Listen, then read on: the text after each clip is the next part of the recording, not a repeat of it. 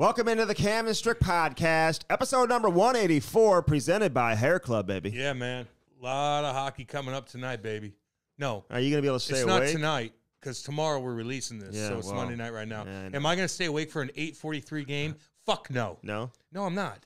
And and I do bitch about that. And I know they got to do what they got to do. You're in the Western Conference, blah blah blah blah blah blah. blah. But it's 8:30 game. It's 8:45. I got to get up at 4:30. That fucks me up a bit. So it sucks. You're And like I- a child. Like when people say, my son and daughter, it's being Yeah. taken away from them. They can't watch the Stanley Cup playoffs because the games are too late. They're Yeah. really talking about you, too. I know. Yeah. I'm the child of Yeah, the group, and that's fine. I got I got I got shit today. Well, okay, Dude, drink some coffee. motherfucker, I do.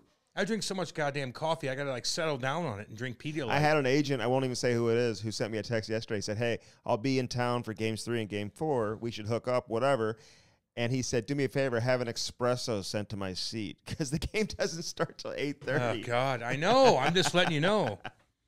Sometimes you gotta get your mind right to stay up, man, and Yeah. then that fucks you up the next day. So Mm. no, like, look, you gotta get up and do a th- host a three hour show in the morning. Like, I'll have to get up and watch the rest of the game, but that sucks. I got to address some stuff with you first off. oh no. Okay, because you What'd I play. Well, I, I tell you all the time about like embarrassing the brand and what What'd you're doing, do? like being cognizant, being aware when you're out in public. what I do? You did your golf game No, is embarrassing. You Fuck talk on here like you're a real golfer because don't. you live on the course, No, I don't. and then I hear about these balls that you're using that are like oh, so Oh, Jesus, old fuck. and like the worst golf balls in that people have ever seen. Man, I just and it's like oh, then all of a sudden they look at us differently after they I see you golf, dude. I know. I fucked. it- I fucked the brand up. I did. Yeah, you did. I'm fucking embarrassed. in that par three, you think the par three is harder or easier? No, it's should so much easier. easier. I, I should do something. And know, I'm gonna say something. Mhm. I love Timmy Peel, but he he ain't no fucking good either. Okay, with them tight ass baby blue fucking pants he had on. I love you. He's Peelsy. got golf outfits, by the way. Yeah, of course. You, he looks and, like a golfer. And he took a selfie with you, you know. So. Yeah, and I even retweeted it because he does a lot of selfies. And I know he went to Tim McGraw the other day, and he said he's uh, Friends with my good, my dear buddy, good buddy, dear uh, Tim, uh, uh, Tim McGraw, dear. I'm here to see. Is that how He's he not- talks? Yeah, Is- is that his that's not your buddy, accent? Timmy. I love you. I love you. He ain't your buddy. My buddy Tim McGraw's playing tonight. Just say Tim McGraw's playing tonight. you know what I'm talking about. Oh yeah, I'd rather We see love him. Hill anyway. Hey, look, I know he's chirping me, and that's all good because he's a better golfer than me, but he ain't that much better. And these we guys golf like five days a week during Yeah. during the uh, golf season during the summer. these motherfuckers, when they're chasers out there in the big alumni tournament, and they're breaking down different packages that people could buy and raise money. Mhm. And Panger and Peelsy bought every goddamn golf thing that they had set up. Oh presented. really? So they had like a Nashville one, and Panger's like, "Let's go Peelsy," and they bought it, and they bought it. So that's all they do is fucking golf. So don't chirp me when I suck. Just because I'm on a golf course doesn't mean I'm good. I don't talk about being good at golf. I don't, Andy. I don't do that. I don't do it. I chirp you because you're no you good try either. to chirp me a little bit. Listen, here's what we're gonna do. Yeah, do. because listen, listen. If I'm invited Mhm. to a, I entertained everybody that day. yeah, I entertain. Maybe my golf game sucked. Okay. But what if you got invited there? What are you gonna do? no, the same thing. you? Oh yeah, like I'm- what? Well, entertain and have fun. Okay. Now here's what I'm gonna do. No, you're not. with you. You're gonna suck, and you're gonna suck again. There's No. no. No, I'm just saying. It's a scramble, dude. I can suck all I want. Doesn't even matter. I hit. Wait, I putted some big old fucking. I heard you sunk one putt. I heard you. I lipped it out putt. about 16 times. I heard you heard su- everything, Oh my you? god! Well, people get. But I, I made them laugh. Are you gonna make them Listen, laugh? Listen, that day I, I was down at I had to be down at the Blues at like eight thirty in the morning. The texts are coming in. I know. right away about like damn it. ten o'clock. People are calling. Ugh. It's so funny though because people see you there and automatically Did you hear what Hully they, said to me? They think they got to start. you hear what. Hully said What did? Hully say? Why does he piss me off all the time? What did he say? Like I look up to Hully, and Mm-hmm. I love him. Yeah. But right when I get there, you know, I got to make your rounds Did and he say, say hey, you look terrible or what? No, he goes, "Here's the Instagram king."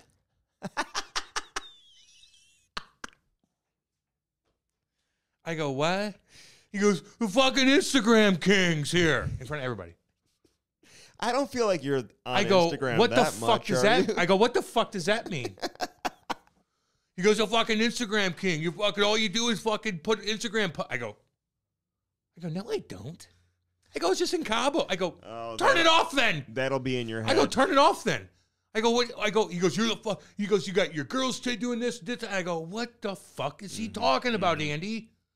He rattled the Mm-hmm. well, fuck I think on the I Instagram think king. he's onto something. Fuck that. I think he's onto something. Even the people that he, we're, the group that we're around, there's people that that Instagram more than I do about their goddamn kids, and it's the same shit over. What do I do Mm-hmm. No, different? I he told rattled you, me. He's onto something. He there. rattled me. I go, why delete me? Why you following me? I was then? actually looking at his Instagram the other day because he he doesn't post enough. the Instagram king. Holy, he doesn't. He doesn't. I have no idea what's going on. He was in town, which is. I was flustered. I thought maybe he'd come down to the game, and he didn't come down to the no, game. no, no. no. Yeah, but but he just called me. I go, good to see you." Well, too." he I go, called you out. about what? well, the Instagram. King. What did I do? You do kind of post a lot of like nonsensical stuff. You know, It's for the fans. it's though. like, oh, well, it's not for Hully. That's I always tell Well, people why- that. I'm not catering to him. Yeah, right, right. And not to mention, it's Darcy probably watching it, and she's showing, and he's like, "Your wife loves you too much" or something. I go, "I don't know. I, I- Maybe. I, guess she does." But here's what we're gonna do the this fuck out of summer. me, here's dude. what we're gonna do. You and I are gonna play golf together once a week, and we're gonna get our game up, dude. We're gonna do this. Wait, We're gonna do so this. I got to bring you out to my course once a fucking week. Hundred percent, dude. And I'm bringing Ty out for golf camp anyway. Which That's you gotta fine. you gotta take I'll him there. You gotta pick him up and I'll take. whatever. Well, you want me driving? I don't think no, so. no, no, no. You got to walk over to the course Yeah, when right. camp is over say, and take them yeah, back I to don't your drive house. children around. and take them back to your house. I don't house. even drive my wife around. She drives me. Like I can't. And then I'll come pick them up. Yeah, but, I, but we're gonna play some golf, dude. We're gonna play some golf, God. and we're, we're gonna get our game back. Damn, going. these motherfuckers rattle me. Crusoe hooked me up there at night though. I came to the rink and he grabbed me down and took me to different places and stuff like. I just, it was nice. It was cool, man. Mhm. Kate and I had a lovely time at the game. We shook hands, whatever. That's, that's what we do. You're shaking hands with oh, co- the COVID situation. I think Dr. Ah. Fauci, by the way, who very close friend of mine. Um, You would be friends with that fucking well, nerd. I think he declared uh, COVID over. Like it's No, it and then he came back and re- no, no, no. And Andy, now the bird so- flu is out there. Are you familiar with what's going on with Yeah, the bird and flu? that's why old boy from the NBA killed his chickens off, and those psycho nutbag oh fuck God. We talked about that That last. time. fucking She was dressed like a referee. what a psycho weirdo. I thought she was a little. I thought they were a little you, aggressive. you probably dated her. at Arizona State. you fuck. I thought they were a little aggressive They're with her. The way they dragged that. her They should have dragged her by her hair. Who gives a shit? You don't do that. How'd you get those tickets? It's all set up, Andy. It's all fucking. Dude, the fucked. security guard, he reacted so quickly, or she. I don't know if it was a he or a she. The security I guard. I think it was a dude. okay, but they must have known who they were Uh, that we they were going to be doing No, no, something, no, no. right? Yeah, So- yeah, no shit, Andy. Yeah. When you have a nutbag with purple hair behind you, Uh-huh. waiting to fucking jump up and do something, like you have an eye on him yeah. or her or whatever that thing is. Irrelevant. Are you not sure? Well, it could be whatever. I mean, I don't. What pronoun do you want me to use? It's all good. But the point is, they know what they're looking for, and she's an mm-hmm. idiot. But so yeah, the bird flu, whatever. I don't, it doesn't bo- nothing bothers me, man. Mm-hmm. Like I got my own shit to worry about. Like I don't. I'm not gonna wear a mask on a goddamn beach. I, I don't. The bird flu. Okay, I, I cooked chicken yesterday. My stomach hurt this morning. Maybe I got the bird flu. Well, it's over now. Mm-hmm. My stomach feels fine. I just. It's just too many psych, psychos that want attention. It's hard to deal with it. It is what it is. But um, the bottom line is, I'm not good at golf, and it's kind of a bitch story because everybody thinks that you're supposed to be good, and it's just it's just kind of embarrassing. Are you losing interest in golf now? I mean, Well, we are you motivated to go out there and play? I Uh, feel like you're losing really. a little motivation. I think my I'm too jacked, and I can't swing my hips because my my upper body's so jacked. I'm fat jacked. right Somebody now. asked me the other day, they're like, wow, is, does Cam work out a lot? I said, No, it's genetics. I'm just a freak. They asked if your dad was an iron worker. my dad fucking slang waterproofing a fucking. I 300 said hot tar. My dad took a 300 Hoses. pound hose from a badass fucking flatbed of a big old Dodge Yeah. and went to shit fucking Hillbillyville in the middle of Missouri and sprayed goddamn tar. What did his dad do? Owned the tar company, waterproofing company. Oh, he did. Shit kicker. Yeah, cow. Cake eater. He's yeah, fucking right. Badass looking motherfucker. Died at You 91. guys had it made over there. he Let- died listen in to that. 91. Oh, did he? Yeah, I mean, he died of cancer. It was really bad. it's I didn't terrible. understand it. My dad was fucked for for a long time. But I wish I had a grandpa that saw me like succeed. You know, Mhm. he would have loved seeing it so much. I wish I wish I could have had my dad and my grandpa. One of them. I didn't meet the other one. He died at a young uh, before I was born. Damn. But my papa and my daddy you know, to watch me fucking shit stomp motherfuckers in Enterprise, man. That would have been really cool at the time. But uh, my dad got to see it. My mom got to see it. But my grandpa never got to see me kind of grow into a man. You know. Well, you're still not there yet. So I was a shit. He would have loved it so much. Oh man. yeah, he would have I loved that. know. Of course he would. Hey, don't think he doesn't know. You I know, You believe me. in that? Like, Goddamn right. okay, so explain that. Like, if you're dead, like, Goddamn you right. feel like you see Yeah, what's going listen. on. Like, come on, help me out with this. All right. uh, well, My mom and dad, you know, they've been through ups and downs with their health. They see me go through so much stuff. When they go, I'm gonna. They're gonna be in the back. They're gonna be watching me, and I will believe that till the day I die.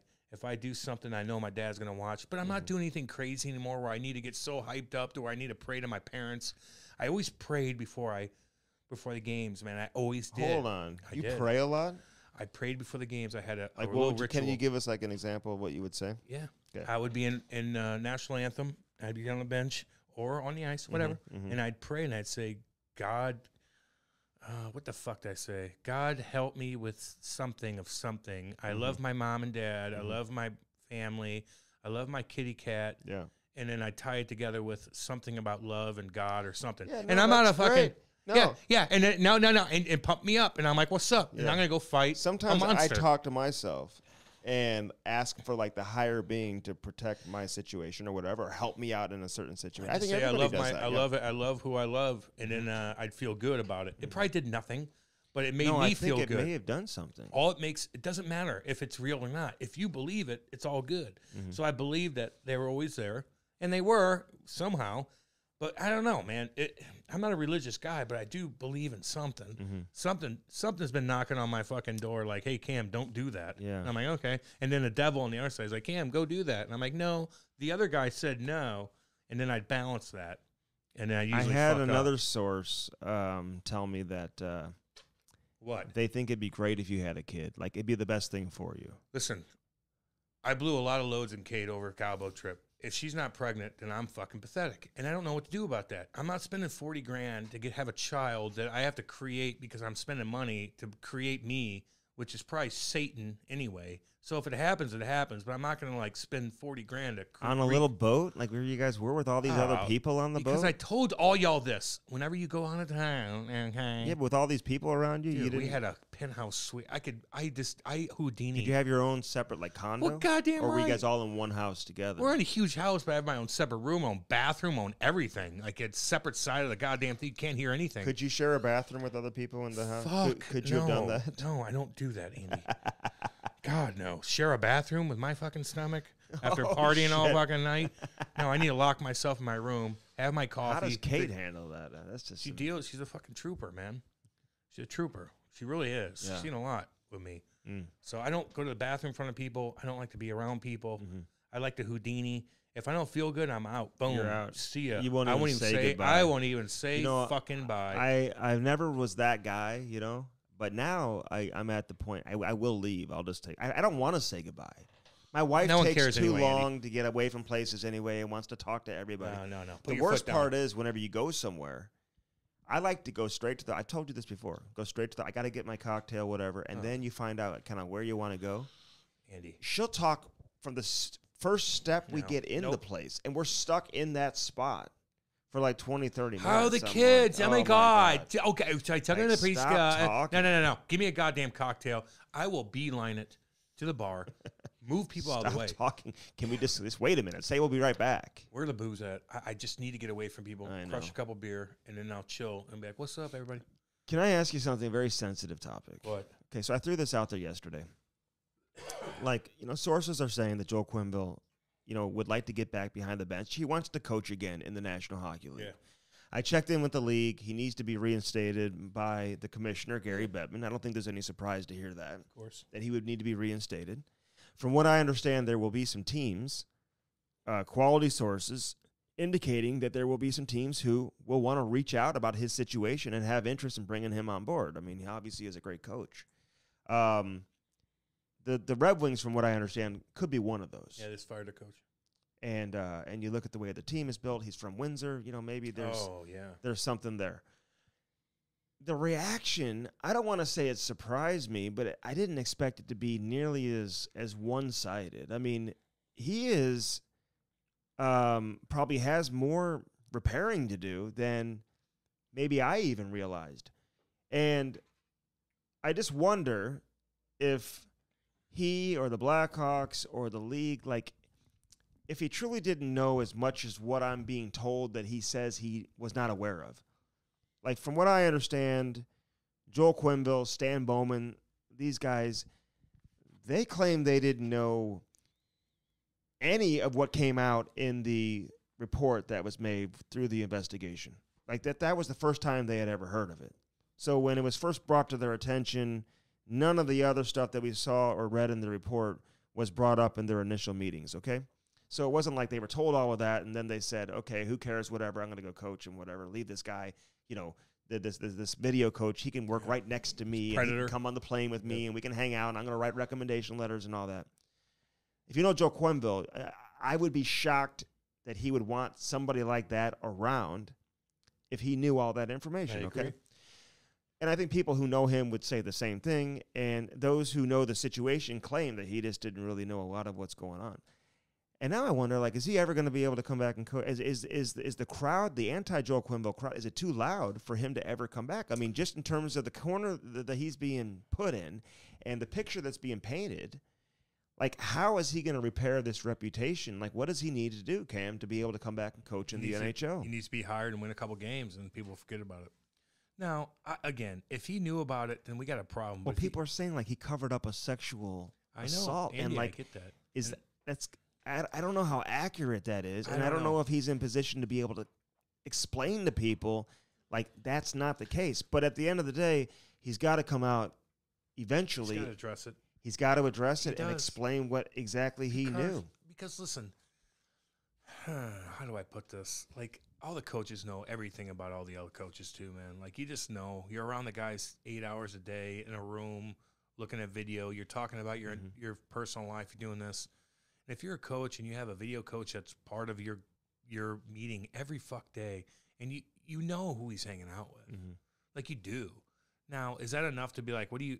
I'm sure they're like, hey, stop, stop hanging out with a fucking player, you weirdo. Like, stop doing that. Like, you don't, you don't do that. one of the black aces yeah, like you're you're with a black ace. You know, it could be a white ace, could be Mhm. a purple ace, doesn't matter. But they call it the black ace. It's Yeah. all good. But if you're like, what are you hanging out with a with a kid for?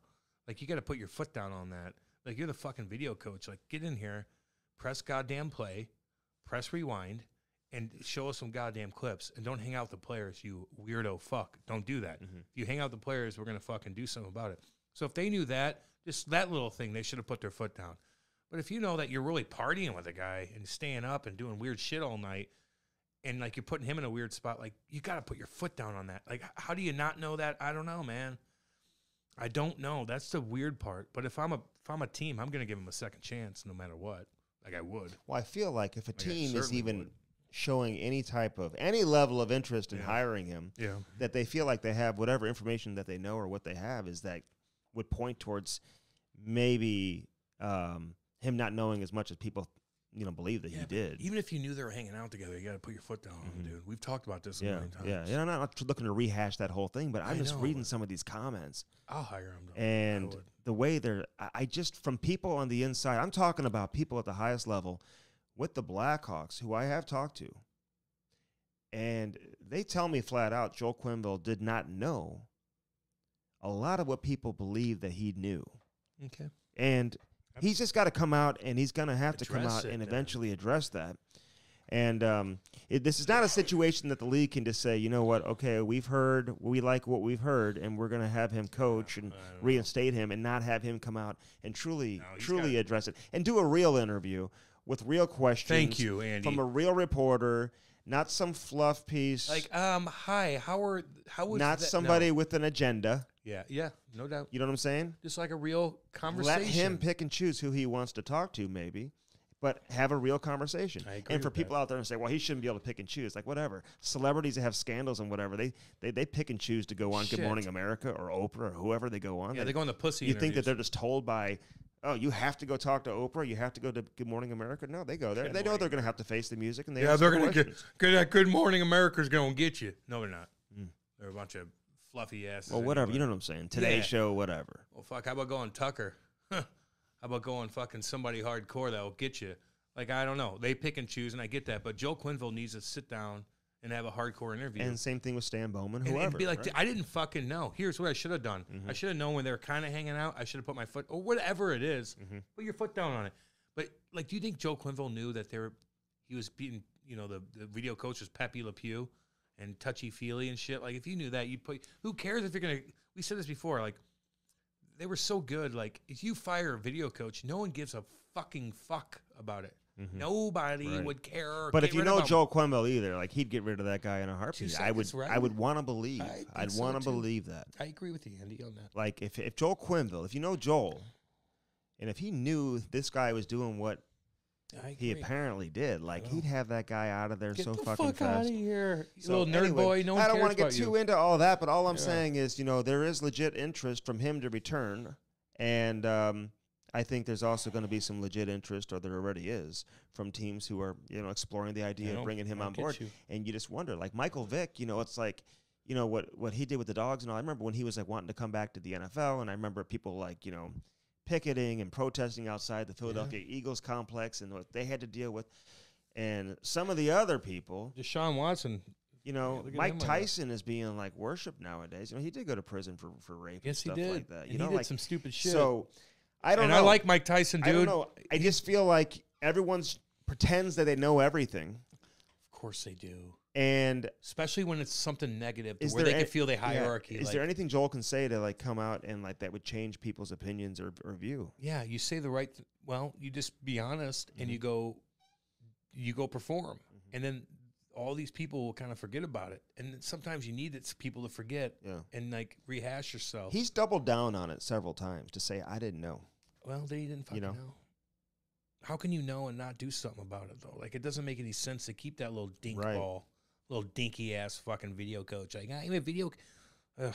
So, Like what are you? What are you doing? You're hanging out with the fucking black so Get do the you, fuck do out you think he should get another chance? yes. Yes, I do. Okay. Yeah, I do. Um, the Stanley Cup playoffs are here. And anything like listen, i Mike Rupp's coming on this edition of the Strick podcast. Love Great him. conversation. Such a good dude. But we get into it a little bit at the end in terms of some of these playoff series. I, I just I, I'm looking at it on paper, and Cam, you know this, man. We always see upsets, Oh, yeah. and every year we're going to see them. And this year, I'm looking at these series on paper. I'm like, well, where are the upsets going to come from? like, who's beating? beating who? Well, the Kings could probably beat Because we all know if St. Louis beats Minnesota, even though St. Louis is a lower seed, that's not an upset. I mean, Nashville's going to go toe to toe. You think? Yeah. I think Nashville's going to be like, terrible down the stretch, man. well, the way they lost to Arizona. oh how could my. you Who hasn't beat- lost to Arizona I know, stretch? but how could you not beat Arizona to avoid playing Colorado? Man, I, I know, homeboy. I get that. But sometimes you play a team and you're Colorado and you just got everything going. And you play in Nashville and their goalie could get hot and they're just in your face and they Yeah. hurt you. So they, they might don't have sorrows though, man. I don't know. I know, but they might they might do enough to slow you down Maybe to a point where maybe you win, but in the second round you're so beat up. right. That's what I hope for. Just go play physical. Mm-hmm. Go entertain us, all you. Yeah. Enter, get mean. Hey, hey, listen. No matter how emotional. how different you think the game changes and whatever, I will say, Stanley Cup playoff hockey, it never disappoints. No, man. Ever. It's in your face, Ever. baby. It's it's mean. Blood, motion, like fuck you attitude. I fucking hate you. This is this is so much to our uh, organization where I'll do anything to slow you down. That's the kind of attitude. And Toronto, you know, they think, you know, they got Justin Bieber, they do this, Mickey Mouse outfits. da, da, da. Like, are they gonna fucking do something against Tampa? Is Tampa gonna shit fuck them again and put them in a place where they can't get past the first round? What happens in Toronto if they lose in the first round? I hear some people be like, "Well, it depends how they No, lose." I'm no, like, I don't no, think so, man. They gotta win against Eventually, Tampa, you gotta, you're gonna have to like make some changes there. What are you gonna do, man? No, they're gonna they're gonna they're gonna protest up there, Mhm. dude, and rightfully so. And But again, they're sitting like Jason Spezza, and obviously the game. I think they start tonight, right? So Yeah, you know when this comes baby. out, you know game one's already going to be played. But they're sitting like Jason Spezza. They're playing Kyle Clifford. Like they're already trying to like it's already in their head. dude was just like, Ugh, I'm crunching You the know, numbers. I, I. I like Clifford. You know I don't know if that's gonna like all of a sudden anything. like change things. You know I mean you just got to put your your your best foot forward and your best lineup that you think that can I know. that you can win with. You just got to what what when when do you play your best at? Is it Clifford in the lineup? Is he not? Like you go play your best and Mm-hmm. see if they have to adjust to you. You guys have more points than them. Then go fucking play. What do you think of um like nowadays like these guys that played a long time in the NHL who announced their retirement and the other team stays on the ice and they shake their hand That's and do all that. You like that, yeah. Yeah, goddamn right. Yeah. Like Yes. Dustin Brown, man. He had a hell of a career. dude. Yeah, we we kind of grew up playing against each other and shit like that. Got Mhm. drafted in the O together, Same same, agent. agent. drafted in the NHL, same sh- agent. Like he's awesome. He's a nice guy. A little nerdy, a little nerdy. Don't get me wrong. Is he? Yeah, but I like him. D'Lo, You don't see too many guys who are captain all of a sudden have the C taken away let's get his and then- ass on. and then stay with the team. let's get Brownie on. We'll get him on. Yeah, hundred percent. Fuck it. He, man, I like watching Brownie play. He'll put you on your. Even he's not Yeah, gonna fight. he was a big time He'll hitter. put you man. on your goddamn Yeah, ass. Big part of USA hockey. I used to watch him skate, Andy, when I was young, Mhm. and Scotty Norton, who I love by the way. because he could skate, man. He'd be like, "Watch him skate." I'm like, I thought I was a good skater, and you watch Brownie. You're like, Mhm. fuck, that- there's Yeah. no wonder he's and better. he could score. Score. whatever. He was awesome. He and David Backes for a time there were like the top two like American-born power forwards for Fucking three, four hundred hits a year, yeah. monster hits, Oh, not pussy. Although hits. they kind of handed those out in L.A. I will say that. Like teams Well, go to L.A. Like oh, anybody get you get like Andy- nine hits. piss me off sometimes. You know that? I got two hits, and the other guy on the team's got ten. I know. I got fucking murdering guys. Man, That's that got to be the off. hardest thing, man. I I even Ah. hesitate like when I say how many hits, like because like Minnesota, Minnesota. They are uh, a uh, Minnesota. You betcha they. they You betcha there. they have like uh, they're considered like a heavy team, a physical team. They are. And then you like you look at the hits. I think they're like 18th in the NHL or No, something. but they got you know what I'm saying? Foligno. They got Oh, I know. No, They they're heavy. hit you, dude. Eriksson Ek will hit you too. He'll hit you. You know? Goddamn right he will. He's big too. Yeah. I like that team, man. Mm. I know they're playing our blues, our baby blues, but I like that Minnesota team. I do. I like them there, and uh, they are- they tear up there, there, and uh, So listen, you got a bunch of like guys that have been around for a long time, legendary names, Cam, who who we may never see again. You think Chara plays again? For some reason, I don't feel like he's retiring. I, I just don't I feel know. He it. scored a goal in the last shift. I, I, I, I put him in a blue note. Gives a shit. Seven hundred fifty thousand. Put him in here. Really? He ain't gonna come here. Yeah, I would. What? Why? For a six offense Can he still lefty? can he still play? Uh, it seems like he I don't know. You talk to some scouts, they say he just can't Oh, play. well, anymore. maybe not. Maybe he could just penalty kill. Okay, if he can't play, then no. But if he could still get around a little bit and push guys out of the way. Remember, he did Carolina. Uh-huh. day, He's like standing. Get the fuck out of here. Get the fuck out of Keith here, little boys. Keith Yandle. I don't know if I'd put him in this cat. He was a good good player. I, I wouldn't put him in the same category. I don't trust anybody that doesn't get hurt, especially You don't? Nope. He's the all-time uh, I don't trust it. games played leader. Although Kessel will pass him probably. Him too. You don't trust Kessel either. I don't know. How can you not get hurt, dude? I just don't fucking. Well, no, it. it's not a matter of I- not Andy, I getting know what the fuck it is. Sometimes you play Andy- through injury. Andy, I know what the fuck it is. Don't play me like a fiddle. You're a goddamn defenseman. You don't get fucking hurt. Get on with yourself. You can play every game. Every fucking game, like that doesn't make sense to me. I will say this. Go get hurt. Hey, I've had a lot of like, I've asked this to a number of players, and they all say the same thing. Say what I said. Yeah, No shit. Funny how that works. and he played on a lot of teams that didn't make the playoffs too. and He's he's he, he just creeped around and oh, I'm gonna avoid this hit. power play.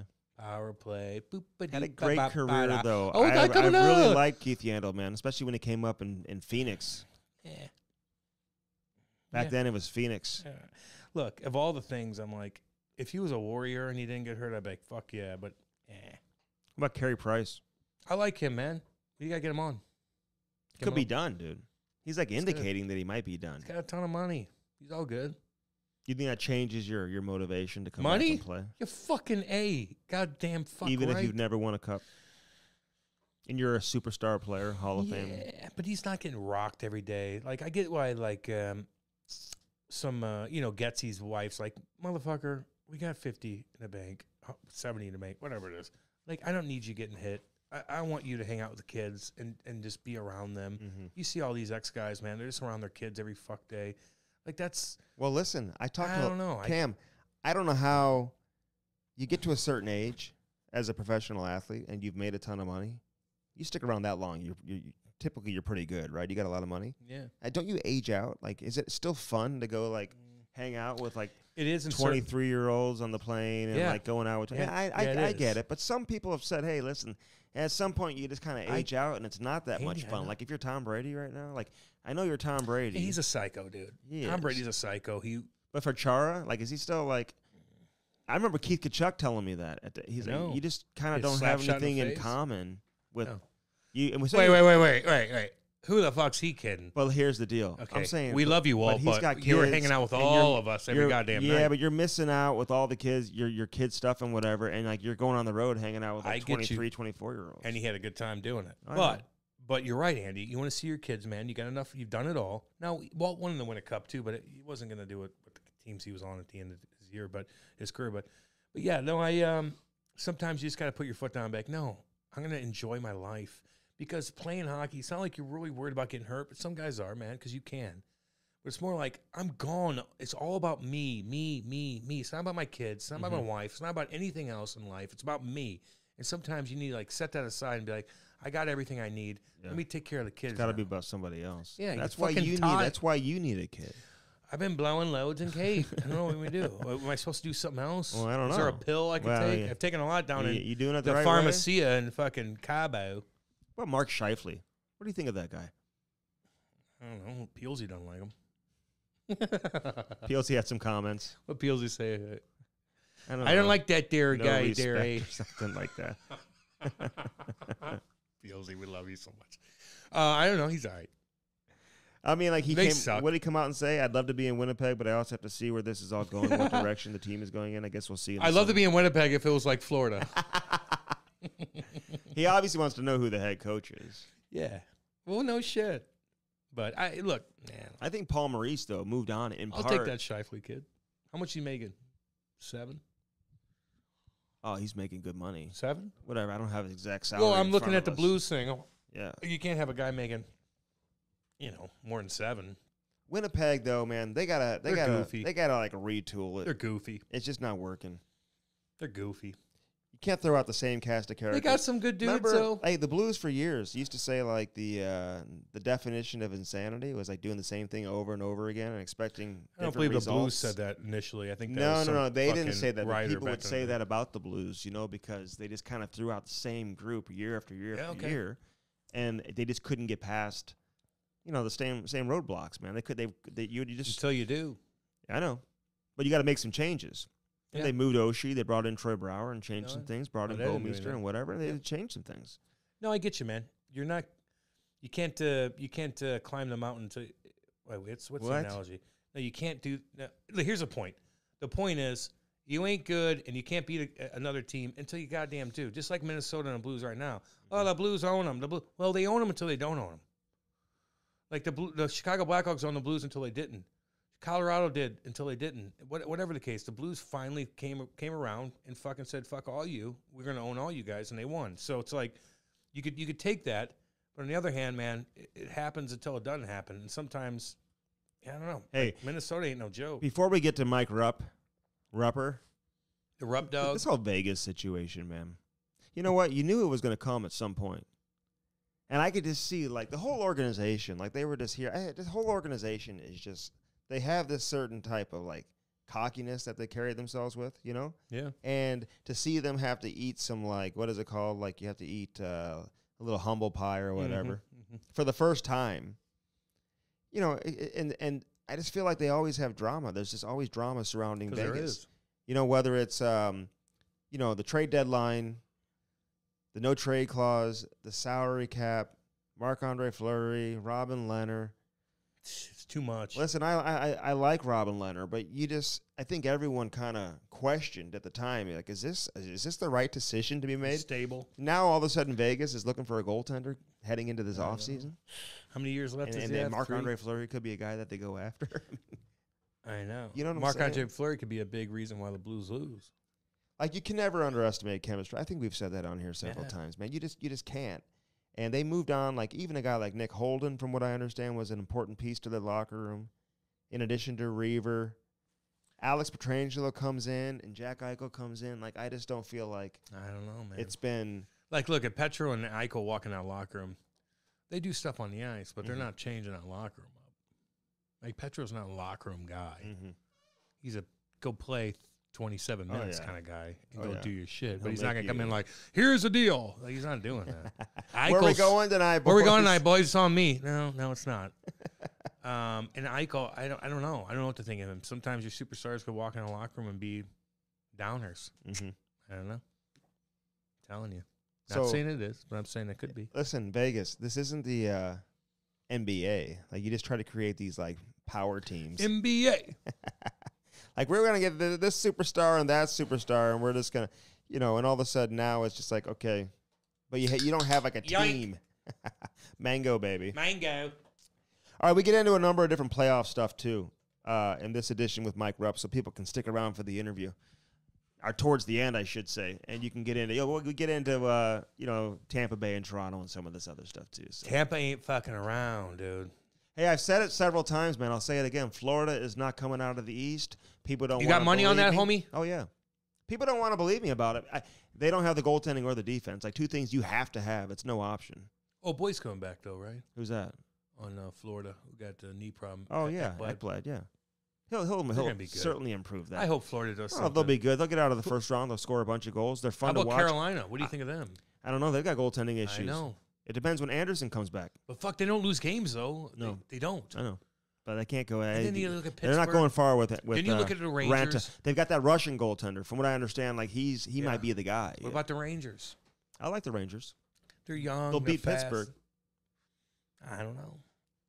I just don't know. the Rangers maybe. will beat Pittsburgh in the first You think round. so? I do. What are the odds on that? Because I'll throw money down Can I can I throw this out I'll there throw money as, down as a crazy upset? It would not surprise me if the Rangers win two rounds. It won't be. It won't surprise me if the Pittsburgh beats the Rangers It, oh, it wouldn't surprise me. at all. It would not No, surprise me but at I all. don't know. Something to see. What about Boston? No, They don't have it. I, I don't think they do. Now they could because of um, you know the situation you know that they're that they're dealing with right now with um, Carolina's goaltending. Like maybe they can get past Carolina. If Carolina doesn't get goaltending, we all know they have no chance. But I, I don't. I just can't see Carolina losing in the first round. But I can see Boston losing in the. You don't think round. Washington's going to put up a fight anywhere? They might put up a fight, but they're not. Just, you're, you're either good enough or you're not. How's Ovi? I think he's okay, right? Oh yeah, He didn't get tripped up, by the way. It's No, like, he'll it. play. Like the goalie didn't mean to trip him. He's just Ovi's like Oh, Ovi's a fucking. he's a machine freak. This guy. This Well, guy's he was in New York. Did you see him in New goals. York the other day? Like I love how people are like, can he catch Gretzky? Can he? Of course. When are we going to change the narrative to like when he I hope he catches does. Gretzky? I truly hope he Dude. fucking. I love that guy. we should never even question whether or not he's going to catch Gretzky until he shows that he's slowing down. I- like I this dude's still scoring 50, 50 goals. fuck goals. He doesn't get hurt. He's going to he'll he'll end up having like 35 to 50 more goals than Gretzky when it's all said and done. Wow. Yeah. All right. I hope so. Like t- 35 to whatever. I, ain't- I ain't gonna lie to you. he's going to pass his ass. I ain't gonna lie to you. There's some dudes that like you know oh yeah. take over different. Uh, they just they find a way. well, uh, my point is, I know what you're saying. you, you know who I'm talking about. Yeah. There's a couple dudes that are fucking nerdy and boring, and they break records, and you're like, Mhm. God damn you! Oh yeah. I don't want you to break Gordy's record because no, you're not cool no. enough to break.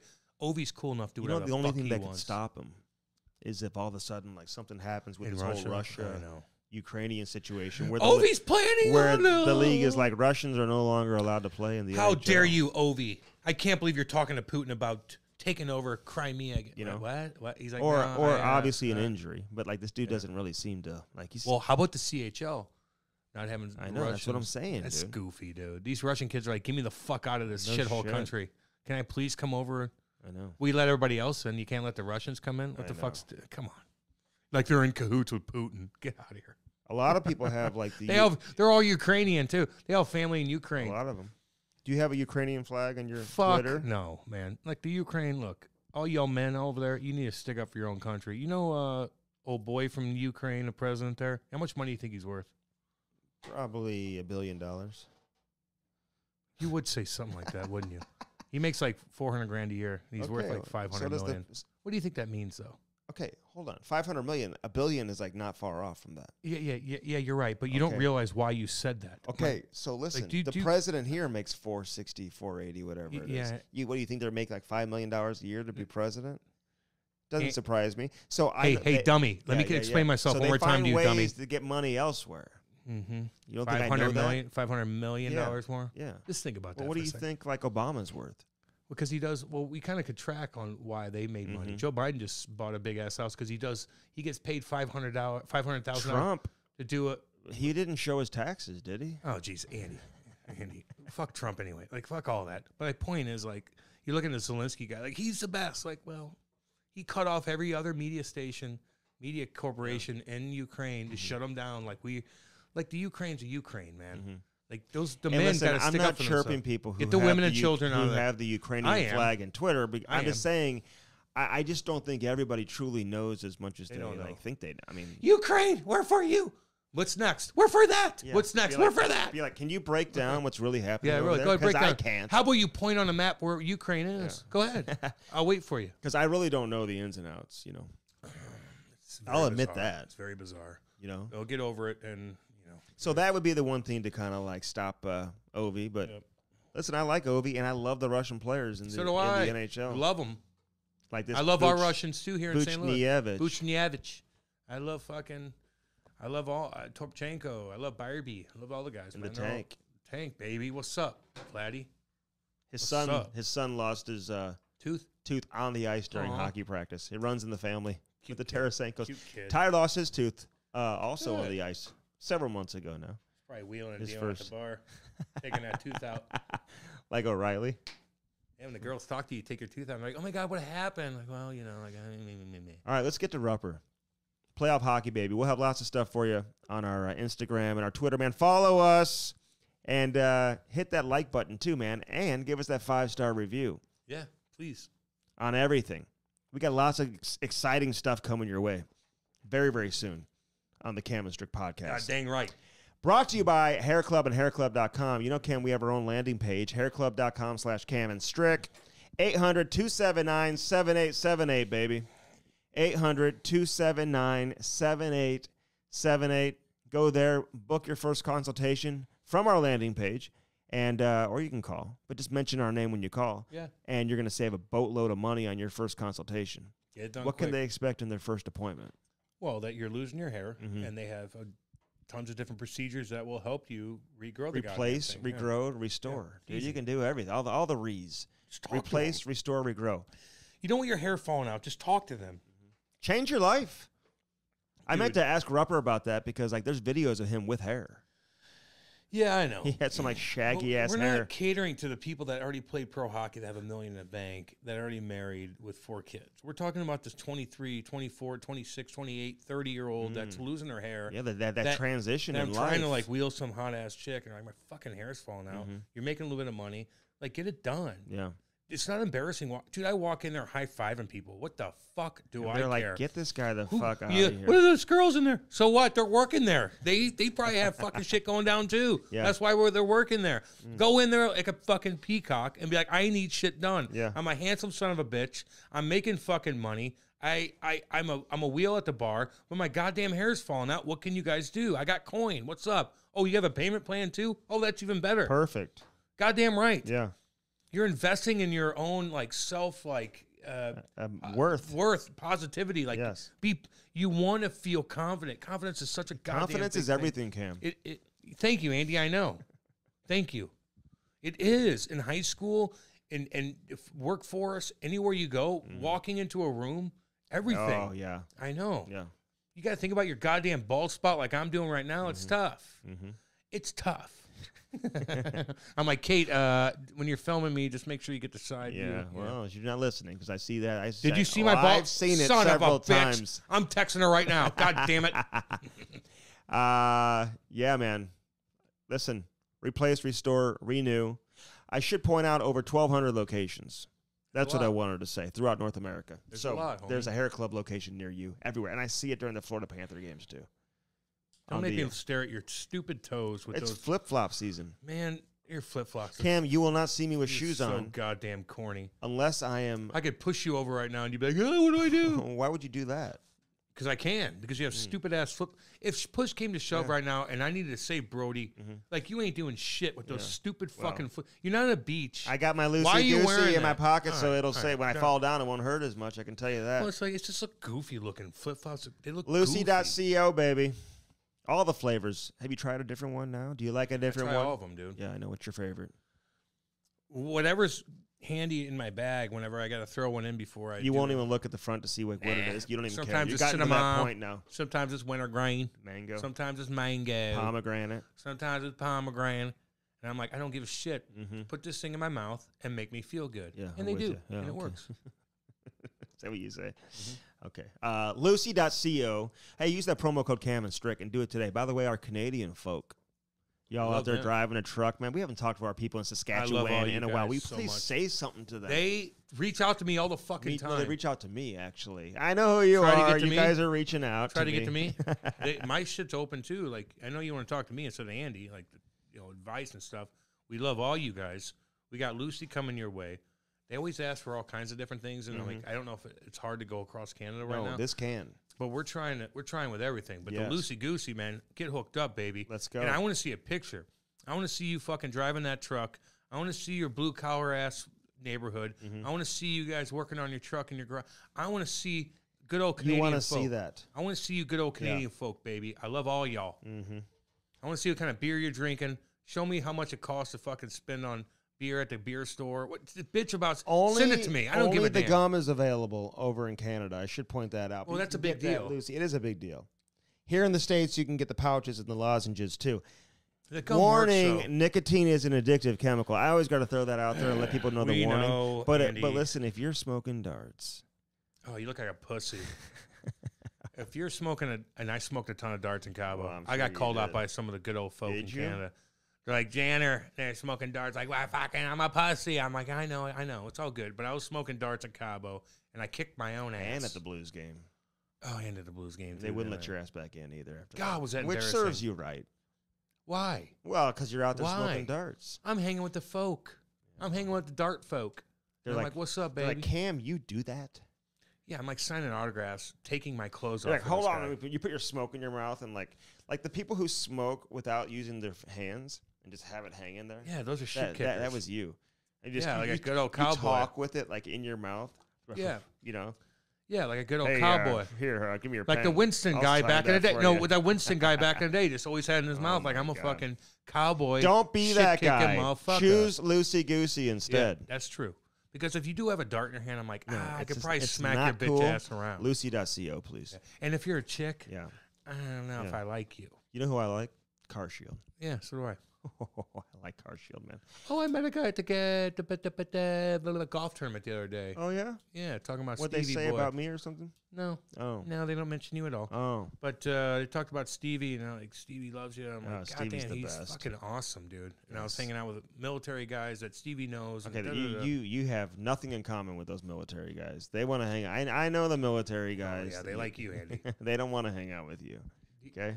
You probably call him former military. Former mil- Former- no, former no, Marine. No, once a Marine, always a Marine, dude. And he's like, "Oh, you're a former Marine." Yeah, listen, this motherfucker, get out of mm-hmm. my face. Okay. I'm a shit kicker. Yeah. You're not. Car Shield 800-857-2481. Use that promo code CAM, which is very embarrassing.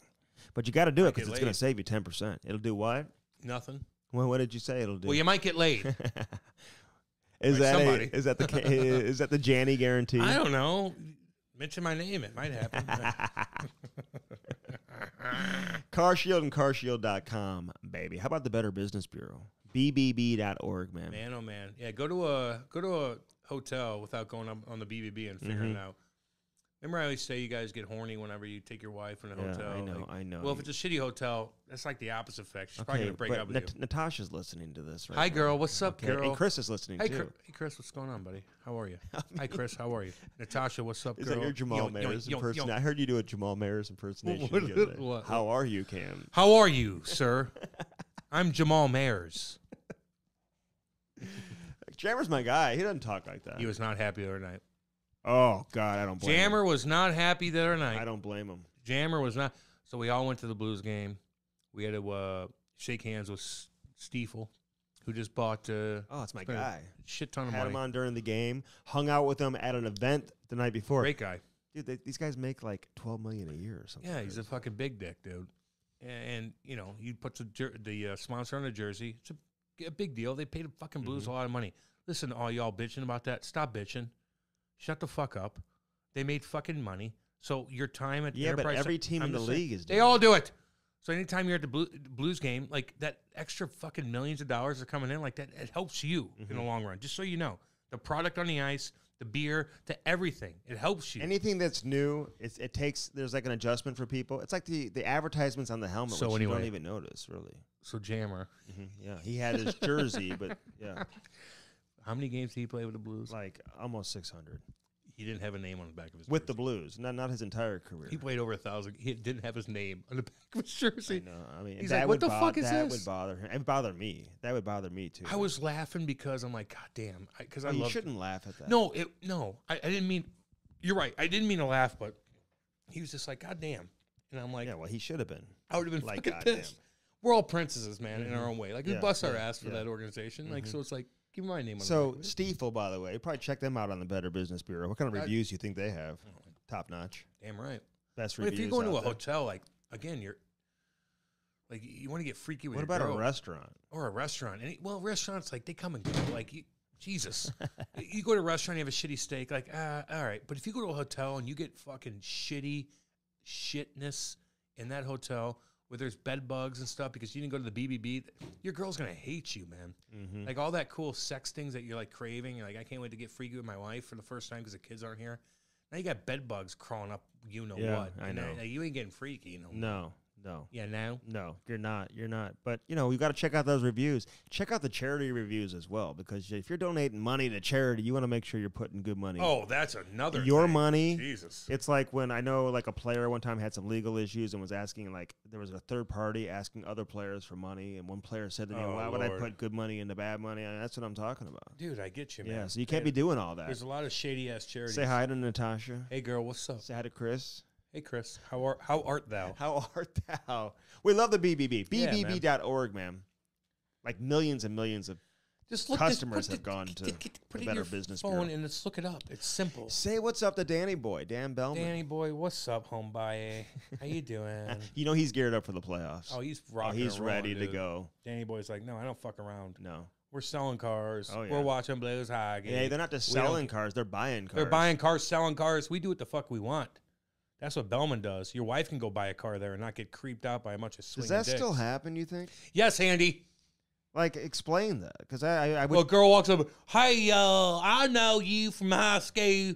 You're, you're, is that your husband, Kane? I used to beat his fucking ass. I'm a big dick mother. No, you're not. Mm. No, you're not. You're a small dick son of a bitch. Shut up. can I tell you this? Yeah. Because spring is here. It's time to review your vehicle's condition and your needs. Like winter weather and road conditions, Cam, they put a lot of wear and tear, stain on your vehicle. Yeah. I know. Okay.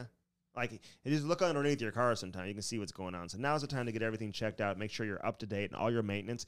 Make an appointment in Troy, Missouri at Bellman and Bellman.com. Make the appointment today at one of Bellman's two service centers for a complete vehicle and tire inspection. Oh my word. Yeah, you need that. They'll get you in and out fast. Your vehicle running its best just in time for the warmer weather. I saw like the weather was nice. People bring out their nice cars in the weather, in the nice weather, man. They bring out their nice cars. No, they usually bring their shitty cars out in the nice. weather. I've always chirped you for the Corvette. Now your Corvette probably wasn't as cool as the one that I saw yesterday. Now the, the Corvettes make some nice ass cars right I now. look like a Batmobile, dude. It was bad. Did it? one. I made. I Was ex- it yellow? I, have spent like thirty grand extending the wheel well, that's a waste of money. A Like you're wasting your money. Who was your financial advisor? Oh God, I didn't answer. I didn't answer his you, text. you did. Cam, you spent thirty five grand last month. Oh my. Oh, God. is that bad? Anyway, Hey, maybe time for a new vehicle too. Yeah. So order a new Buick, GMC, Chrysler, Dodge, Jeep, or Ram to your exact specifications because that's how you can build it out now, however you want it. Okay. I saw out one of those things. check out one of Bellman's. They got like over 150, 130, something like that, used cars on the lot right now. Damn right, baby. So again, check it out. Troy, Missouri.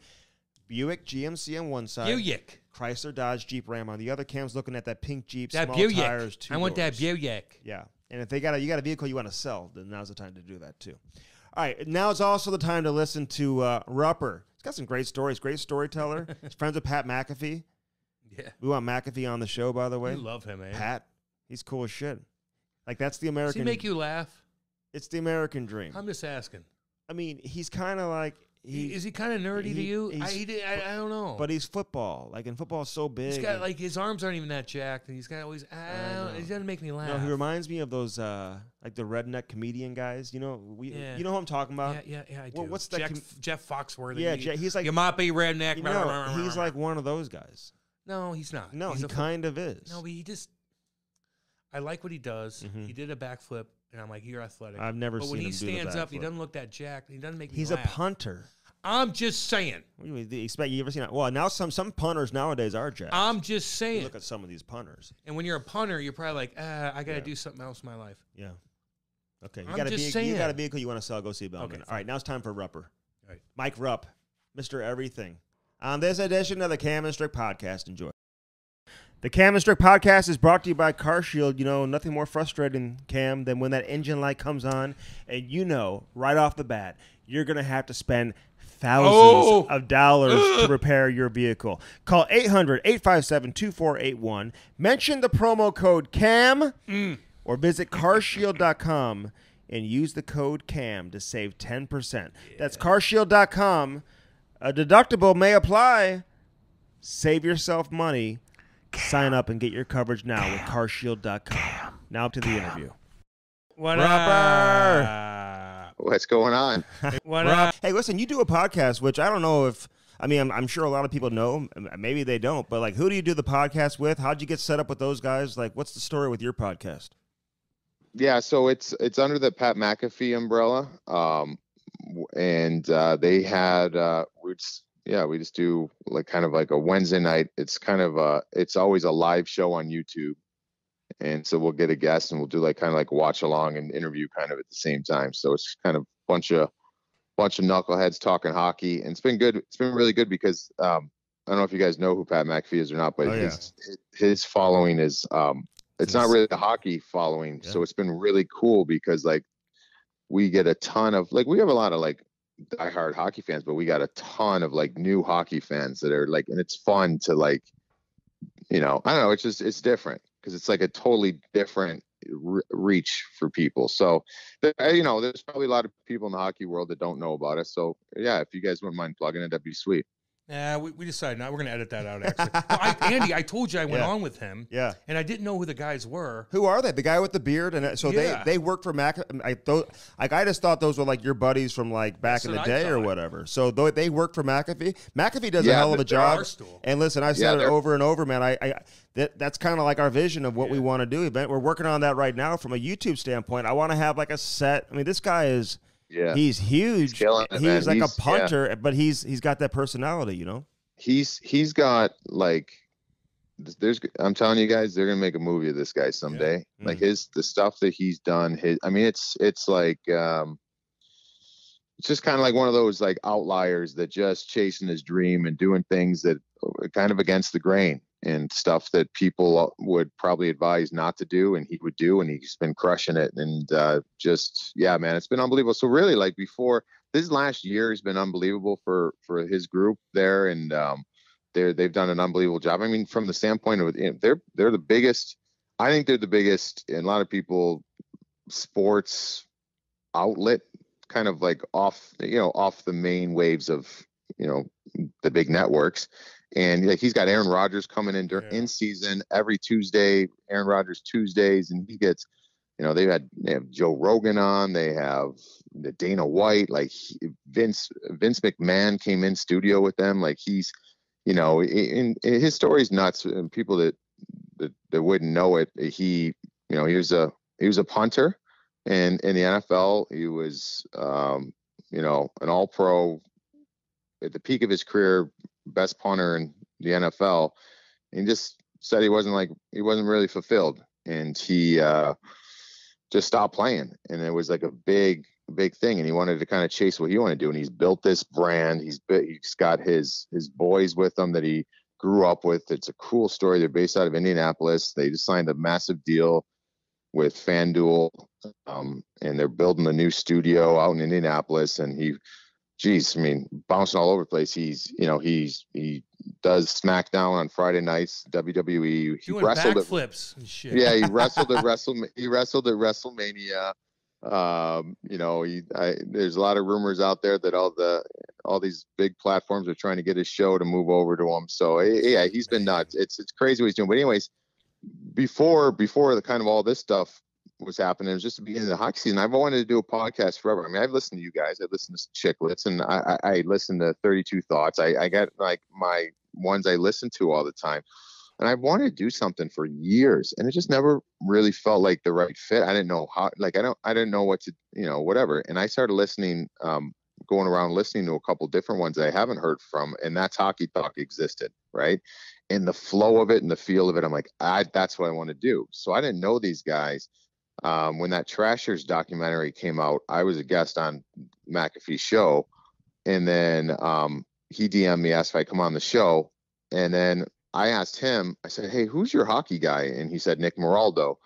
And so I called Nick and I was just like, Hey guys, like, I don't know. I know you guys got something going, but I'd love to be a part of it. And like we tried to figure out, and they were like, yeah, that'd be sweet. Like, you know, I think it was good for both of us. And uh, yeah, just been Who's Nick kinda going about it. Moraldo? That's that's his that's his buddy. He works on the show. So on the Pat McAfee show, they've got, you know, his whole crew is on the show with them, and and Nick is is one of the guys uh, on his show, and then uh, Gumpy Gumps is uh, is the guy with the big beard. He's from Vancouver originally. It's a crazy story how he got there. I, I I think that he was like, I think he, I might be getting this wrong. I think he called in to the Pat McAfee show was like a fan of the show, and I'm pretty sure like Pat heard his voice and his delivery. Like he's he, his comedic timing. Like he doesn't say a ton all the time, but his Mhm. comedic timing and how he says it it's it's I don't know. He's he's got like a Canadian. He's got like a Canadian accent that sounds like he sounds like a I don't know. I think he sounds like a kind of like a surfer. And the way he delivers these things, it's like Pat, I guess, was like, I want this guy, and they hired him and uh, moved him from Vancouver to Indianapolis. He's been a part of their crew, and he's the he's the co-host on their their big uh, the big gambling show called Hammer Down, and it's just a nuts story. But anyways, Yeah. that's how I kind of met up with these guys. It's been a blast. I love doing it, and uh, yeah, man, it's on Wednesday nights, eight o'clock, and we got we got Henrik Lundqvist popping on with us for a few few minutes. Never to- heard of him. Never, heard of Don't him. know who I the heard, hell- hell- I've heard of Nick, I know- but not I him. know, yeah, I know yeah, his Nick guy. story his story's not as not as extravagant, but hey, you know, we'll The ugly Yeah. fella from uh, Rangers. Hey, listen, but you know, but it's um, it's cool though, because like I watched a bunch of it today, like in my world class like research and preparation Well, for should. the interview. And listen, because it kind of shows some of your personality, Rupper, and like you know, obviously, you know, been on your radio show and the like, you know a bunch of times, watched you on television, followed your career, but like even like over the course of your career, like there's been several times where you've been mic'd up and whatever, and you get a uh, more of an inside look at who you are. But on television, like you got to be buttoned up. Like like how much do you enjoy that? Do you wish you had more flexibility, like to kind of do what you're doing on the podcast? Do you enjoy the balance of it, or or do you really kind of enjoy just kind of teeing off and, and being yourself? Like how do you look at what you're doing right now? yeah, I mean, I, I think that from yeah, I think you guys. I don't want to speak for you guys, but you guys are in the same boat where it feels good to just be able to speak freely, right? Yeah. and it, it, all the things can work hand in hand. It's like, you know, um, the NHL network is obviously aware that I do this, and and they, you know, the feedback I got from them, that's great. You know, um, it's you know, it's different. I can't say the things I'm saying on this on that's hockey talk on the NHL network, or at least in that in that way. But you know, both both of them can coincide, and uh, it, that that's a good thing. But I think that everybody everybody that is in the business of media. That's why we're seeing all these podcasts, these different fields. It's it gives you a glimpse. You can just be more yourself, right? And you can control kind of the content and control how it's going out there. And and uh, I don't know, it's it's refreshing, you know, because there's times like, no, I'm working in Pittsburgh, okay, and I do Pittsburgh pre and post. Like, I, I have to. I, I've always been. I don't think I'm one that plays a homer but there's plenty of times I want to blast the Penguins for how they're playing. You know what I mean? Like not blast them. I'm not, you know, whatever. Like there's, but like there's times where there's just things like if I'm calling it the way we're seeing it, like if I was sitting there, Strick, if it was me, you, and Jenny having a beer, like I want to say what I'm saying there. I don't have to. I don't have to swear when I say it, but I want to say that. I think that's what the fans want to hear, and this gives me a platform to be able to do that, right? So um, I, I I love that, and it kind of itches that, you know, or s- what is it? Scratch fucking that up. itch. Scratch that itch. Yeah, Yeah, itch baby. that scratch. Scratch that itch. Yeah, maybe I should stick to basic things. But anyways, uh, uh, you know, it, it it does that. It, it satisfies that that part of it. So I love it. I get that, man. And you know, you're so busy. Every time I turn on TV, I see you. I see you everywhere. And like, are some nights where you're like, "Damn, I did Pittsburgh last night. Now they're asking me about fucking Florida." I'm like, I haven't watched that game. Like, do you ever get like, do you ever stumble and say, you know, what? I, I don't know what the hell I'm talking about on this because it's hard to keep track of everything that's going on, and you got to break down basically everything. It is hard, but I mean, I've I sit there and uh, you know I rely on. I, I know, Jenny. I think I probably reached out to either of you guys. I've, I've reached out to Panger a number of times too because it's like I'll be. I don't like. I hate. It, it's equivalent to like, I don't know, in hockey, like not knowing what to do on a forecheck and like feeling like feeling like you're getting caught with your pants down. And like I it's the worst feeling in the world. You know what I mean? Like I hate it.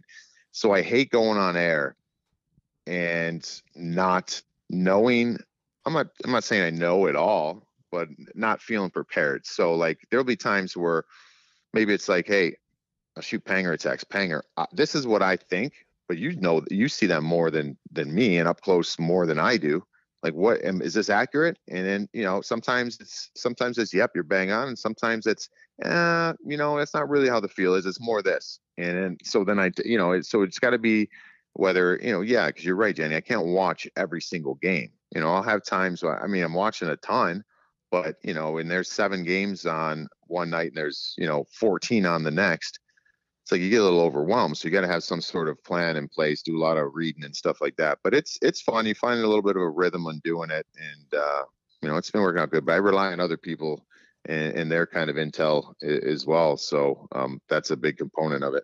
You know, your story is kind of crazy too. It kind of reminds me of like a. Uh, like a kid from St. Louis making it to the NHL because you know there was there was a time where guys just weren't making it. Cam Cam was the first one to come out of St. Louis to make it. Are you the first one out of Ohio to make it to the NHL? Like, were there guys before you or no? Jenny, you were the first out of St. Louis. Get on with yourself. Damn right, that's baby. That's sick. That's sick, man. Yeah. No, that's really good. Like, you know, I mean, I wasn't the. um I put it this way, like, and this is not. I, I was. I might have to double check that. I think there's a couple that were born in Ohio but Mhm. didn't grow up in Ohio. Yeah. Um, Doesn't count.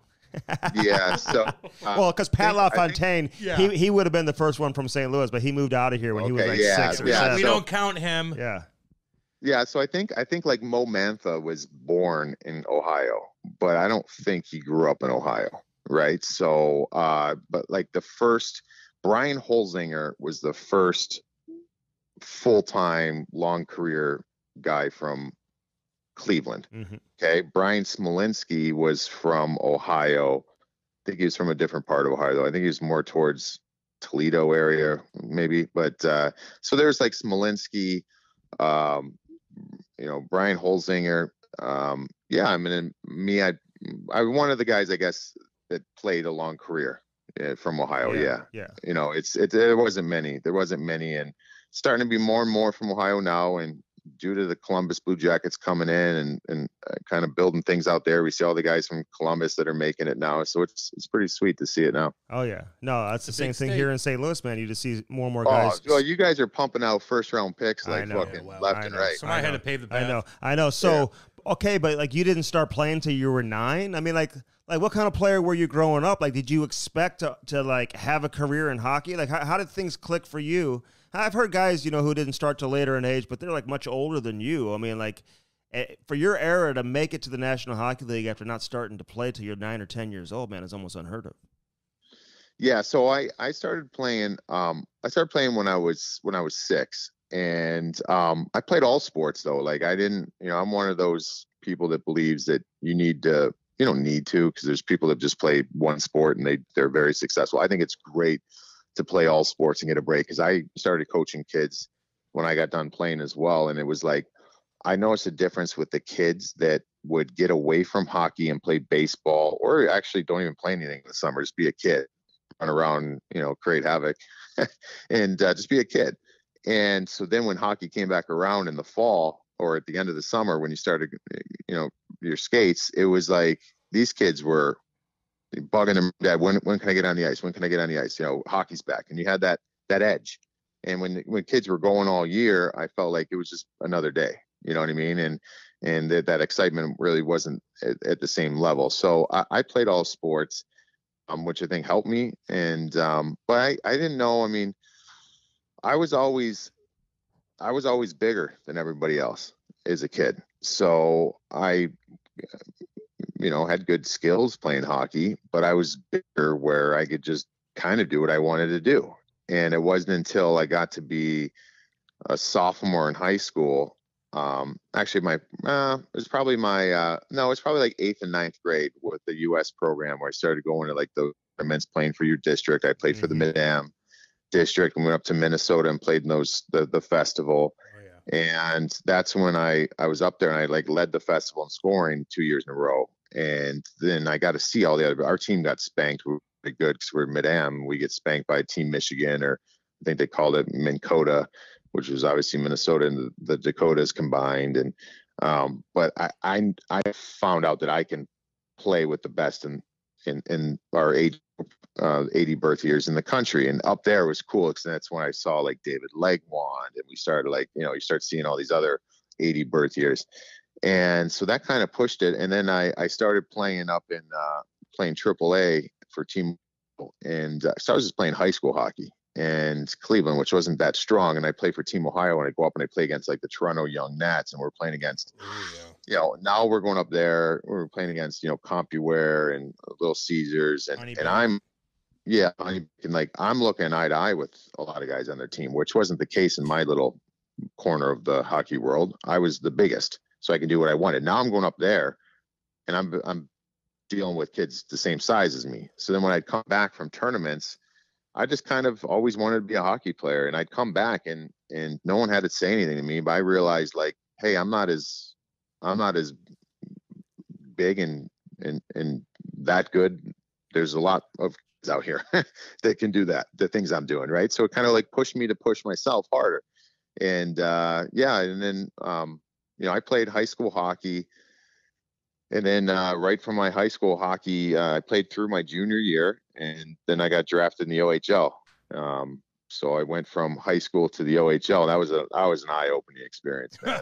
Um, oh my gosh! Who was in that yeah. fucking league, by the way? And they saw you creeping hey, around in warm-ups. Can, can you fix your damn Wikipedia page, by the way? It said nine. It, it, said nine years old. That's when yeah, you, you started, screwed that you up. Andy. I, I, started when I was nine. It but, sounds better now. Actually, I didn't. Even, I just started playing when I was 19. I said I just walked right in the NHL. yeah. That sounds better.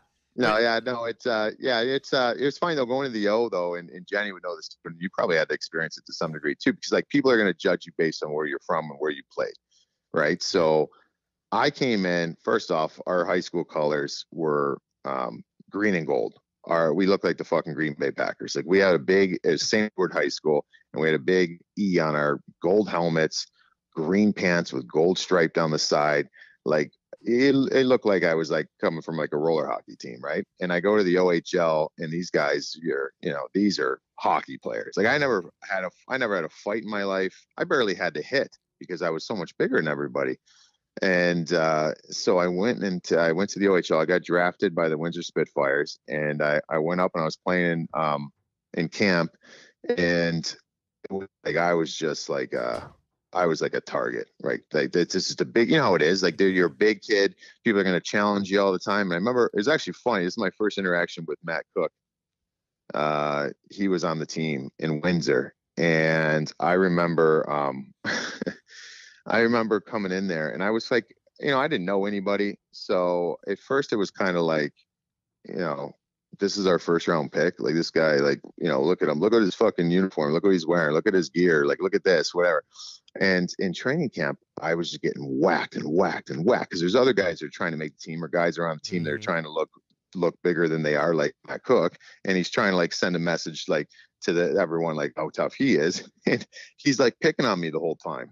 And I don't know really what to do because the fighting ex- experience has never been. It's never been. I never had any of it. So I remember I came to the bench during a inter squad scrimmage in training camp, and one of the the overagers um, says to me, he goes, "Hey, don't put up with that shit from Cooke, from Cookie." And I go, "Okay."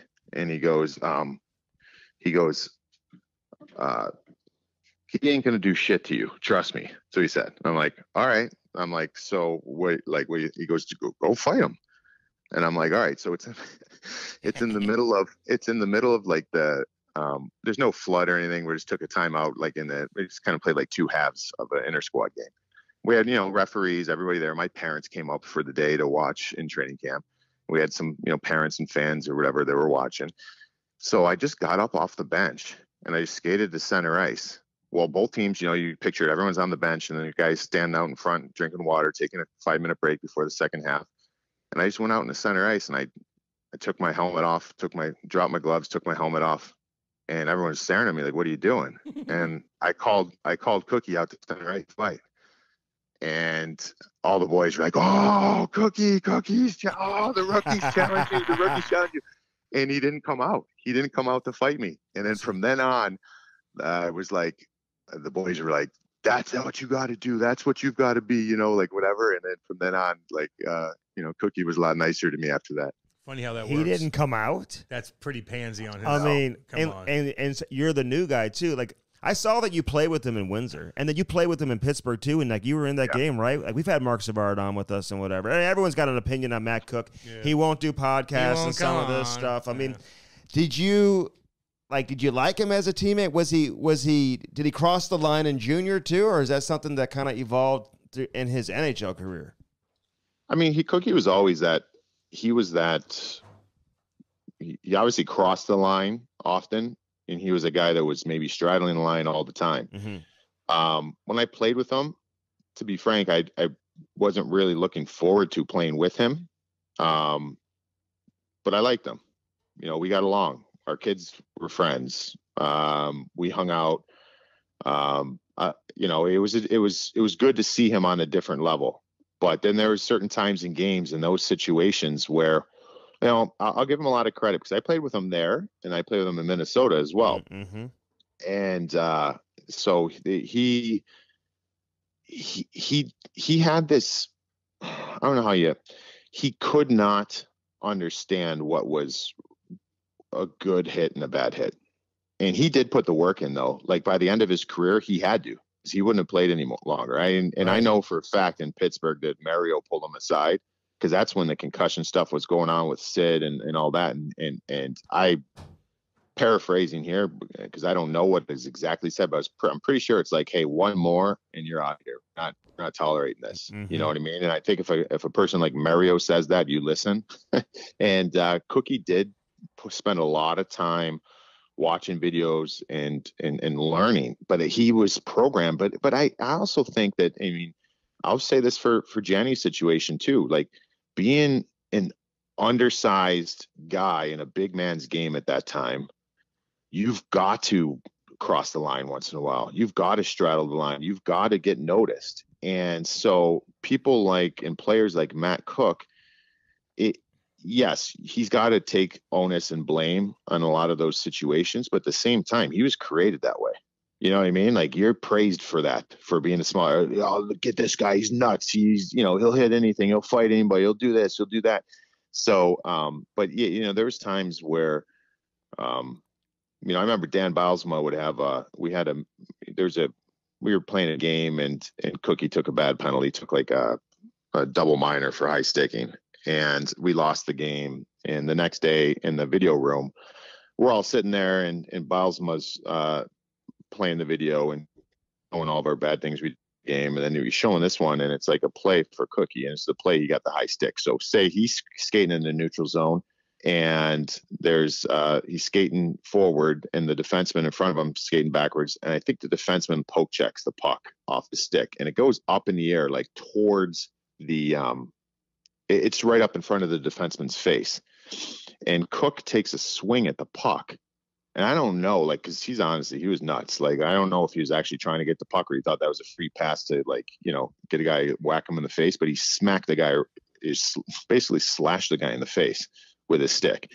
And he was bleeding he got a double minor. So so Bylsma shows this video in slow mo and then brings it back. Slow mo brings it back does that like three or four times. And he just turns to cookie and he goes cookie what are you doing? And and matt goes that wasn't a penalty. Goes and, and all of us in the room started laughing. We're like what? And, and and he's adamant that wasn't a penalty. And he goes well i and so now Bylsma was like well hold on a second. You explain to me how that's not a penalty and how and I don't remember the terminology, but he basically, in his explaining what happened, said, "I was, you know, it, he basically used a definition of a penalty in his defining of what hmm. happened on the play." And I remember Biles was like, "You used literally the the phrasing of a penalty for what you're like." He's like, "It's not a penalty. It's not a penalty." And like the meeting just went off the rails because it was like. He, he, Bylsma wanted him to admit that he did something wrong. He would not do it like it, it- it's like in his mind he could never say like yes i made a bad decision on this one. You know what i mean? So i think that that's kind of like something that he always struggled with until the end of his career and Mm. um, he did put the work in and and, and, he, and he cleaned it up but man yeah i mean i was there for that terrible like uh, the marc savard play. I mean uh, it was awful man. He was uh you know, there was there for erik karlsson when he cut his uh, Achilles. He cut his Achilles. Yeah. There's uh, he knocked out Ryan McDonagh with a hit. He got suspended. That was kind of like the last straw suspension, and it was uh Kane yeah buckled his ass at one time though. yeah yeah. Okay. Evander yeah. Kane. We were Sometimes playing in you do that, Atlanta. Yeah. Well, you know, I always But- wonder, like Rupper, like guys like him and and Raffi Torres and some of these guys, like who who they're kind of like the, the the poster child, right, for those type of hits and whatever from from the time in the game when the league was trying to get rid of those type of hits, right? It was like those were the hits that they were showing, like just how they dealt with that. Like after the game in the room, like as his teammate, knowing that now the next time you play them, you got to fight. I think you fought Chara, right? Shortly thereafter, you know, like I mean did does it get like as a teammate do you just kind of like oh my god like i'm sick of doing this shit or is it just kind of like part of the game he's one of us he's on the team we, we, we got to go out there and protect him Yeah, I mean, I mean, it's you got you got to do it. You got, and what are you gonna, you know what I mean? Like, we- I can't be the, the the decider of who I'm going to fight and what I'm going to fight for, and like that, that's not really my job. So, um, you know, it, yeah, I mean, I there would be times where I'd feel like, okay, I got to go do this because of that. Like, really, you know what I mean? And I got to go get my face punched in, and Because uh, he's not going to step up. to- Right. So that's how that Boston game went. So the Boston game, we're going into Boston, and and front like on the front page of like the Boston Herald. It's not the front page of the sports section. It's the front page of the fucking Boston Herald. Yeah. It has a wanted. It's like an old western, like wanted dead or alive. It says and it has it has a picture of Matt Cooke with his with his toothless smile, and I'm like, this is uh, so when we went there as the Penguins, we brought extra security, and uh, you know honestly, I think Cookie liked the attention. To be honest with you, really like you know we would we went there and i remember i remember it was like um you know we were going out we were going out to eat and we were kind of like hey maybe you should stay back and order room service. Like you know boston it was nuts and what happened and everything it's like we don't who knows? Like we don't we don't need to be getting in a big brawl at a restaurant or or you know whatever and uh and he's like no i'll be fine i'm like well it's not really about you being fine we don't want to get shit you know yeah. and so like he went out to dinner and whatever, and everything's fine. So when we go to the rink the next day, I remember in um in warm ups, uh it, we went out there and Billy Guerin was stretching at the red line and Mark Recchi, which is, you know, obviously they're buddies, was stretching at the red line. And I guess Rex says to Billy, um, hey, just uh as long as as long as Cookie answers the bell, um, we can move on. But if he's not gonna answer the bell, this is gonna get ugly. And Yep. so Billy's like, all right. And he goes, uh, he goes, Shawn Thornton's, Shawn Thornton's um, wants him. And Billy's like, all right, I'll pass the message on. So he must have talked to, to Matt. And uh, so we're in between uh, before the game starts. And we had a pretty tough team. You know, I, it, uh, Eric Godard was there. I think, I'm trying to remember, was Deryk Engelland playing in that game? He may have been playing in that game too. And I remember we kind of like in the locker room, Godard, uh, Godsey was like, kind of brings the three of us together and he's like, so how do we want to handle this?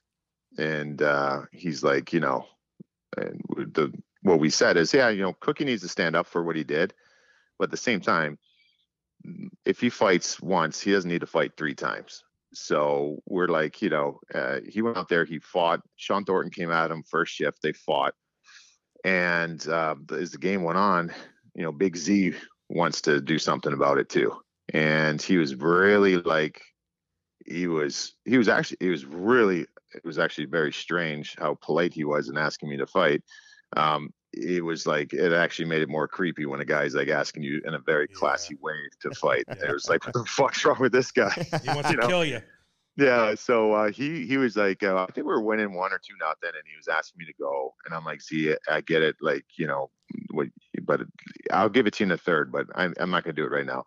The next shift, he'd ask me, and then I kind of like, I told you later, you know, whatever, and he's like, I, you know, I, I, you know, I'm the captain of this team, and I was bullshit. What happened? I got to do something. Like, I know, I'll give it to you, but I, it's gonna be later.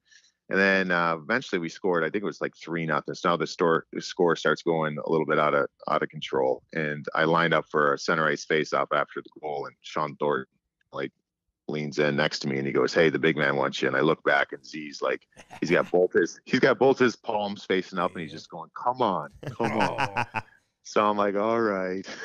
we dropped the gloves and, and that was uh, probably shouldn't have squared up with him. But anyway, so but yeah, you know, so in those situations, like yeah, you had to do it. But I mean, I don't know. I mean, look at it. I, I again, like I I like Cookie. I think that he was brought up to play the game a certain way, and being dirty was part of it. And he, it, it there was a time and when he played where that was. It was never, I guess, okay. But then he played during that time, that time when the league crossed over to a different area, and um, I'm glad it did because I mean that Marc Savard thing was terrible. Mm. Um, I wish that never would have happened. I mean it, and you know that's Rule 48, and and uh, that to this day is the Matt Cooke rule, and the league never wants to see one of those hits again. Yeah, he was a hitter, man. He catch you on those back check hits and stuff. And- Yeah. yeah, and we all kind of did that for a while there until we all started kind of getting dinged for it. But you speak of Eric Godard, man. God, is he an underrated tough guy? I tried to talk to him, Andy, by the way, on uh, Facebook, get him on. He's like, man, I just don't do that. How, how was he, man? Like, he knocked guy. He he's a giant slayer. Like he knocked out Boogaard. He bagged up Yeah. Simon. Like God, was he tough? He- not too many people talk about him.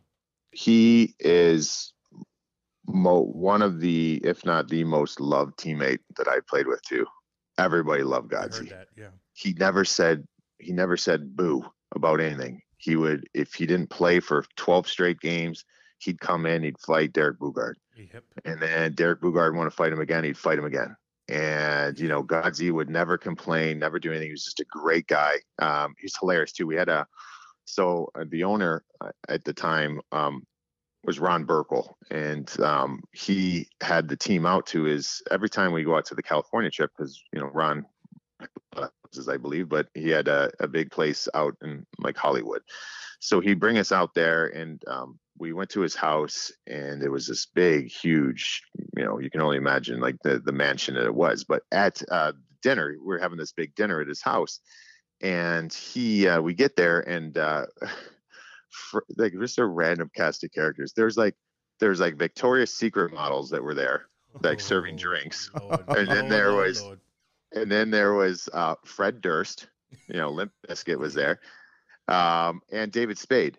And so uh, it was cool for us. Like we're going up talking to these guys, and like you know, you know, whatever. And um, so we're sitting at dinner, and we got a bunch of these round tables in this big room at the at the mansion, and and uh, we're at a table, and Godsey's at the table, and someone says to Godsey, like, "You should go shoot check David Spade."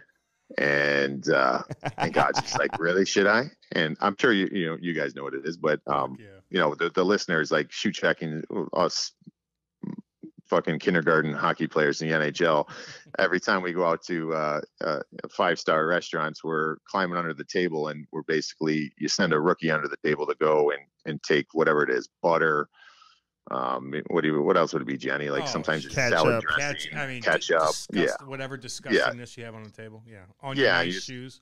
Yeah, yeah, and some of the guys, you know, if the guys had like, you know, thousand dollar shoes, like you, that's a big target, right? And you go over there and you just wipe Oh. garlic butter all over the fucking toes of the shoes, and uh, so, and then the guy would crawl back under the table, be unnoticed, Yep. and then sit back down, and then everybody takes, um, you know, at like weddings when you toast the glasses, ding, ding, ding, ding, ding, ding. All the guys start doing that, and all when you hear that, immediately all the chairs get pushed back, and everyone looks at their shoes. And so in restaurants, you just picture 20 guys doing this. Everyone turns at this moment. You hear ding, ding, ding, ding, ding, and all the chairs just go boom, like simultaneously, and they look at their their shoes. And so David Spade was sitting there. Godsey climbs under the table, and so we have to uh, notify someone at David Spade's table that this is happening, so they can like let him under. And they're like, okay. So he kind of like moves his legs over a little bit, so Godsey has like a little path to get under the table. Gets under the table, goes under there, and um, he comes back, and his his spoon of like butter still has uh, it's still on his spoon. And we go, and he goes, I can't, I can't do it. I, I'm like, why? We go, why? He goes, the fucking guy's sitting Indian style on his chair. He's like, I've never see anything like it in my life. He's like, who does that? So A he woman? crawled under there, got up to David Spade's chair, and you couldn't tell from you couldn't tell from his waist up, but he was sitting Indian style. So then he's like, so then he's like, all right, I'll try again. So he went under there and he doused him like while it was Indian style and uh, got it all over his shoes. No one noticed. Came back, ding, ding, ding, ding. All the chairs push out. So of course, all the chairs push out, and Fred Durst and and uh, David Spade are like, "What the fuck are you guys doing?"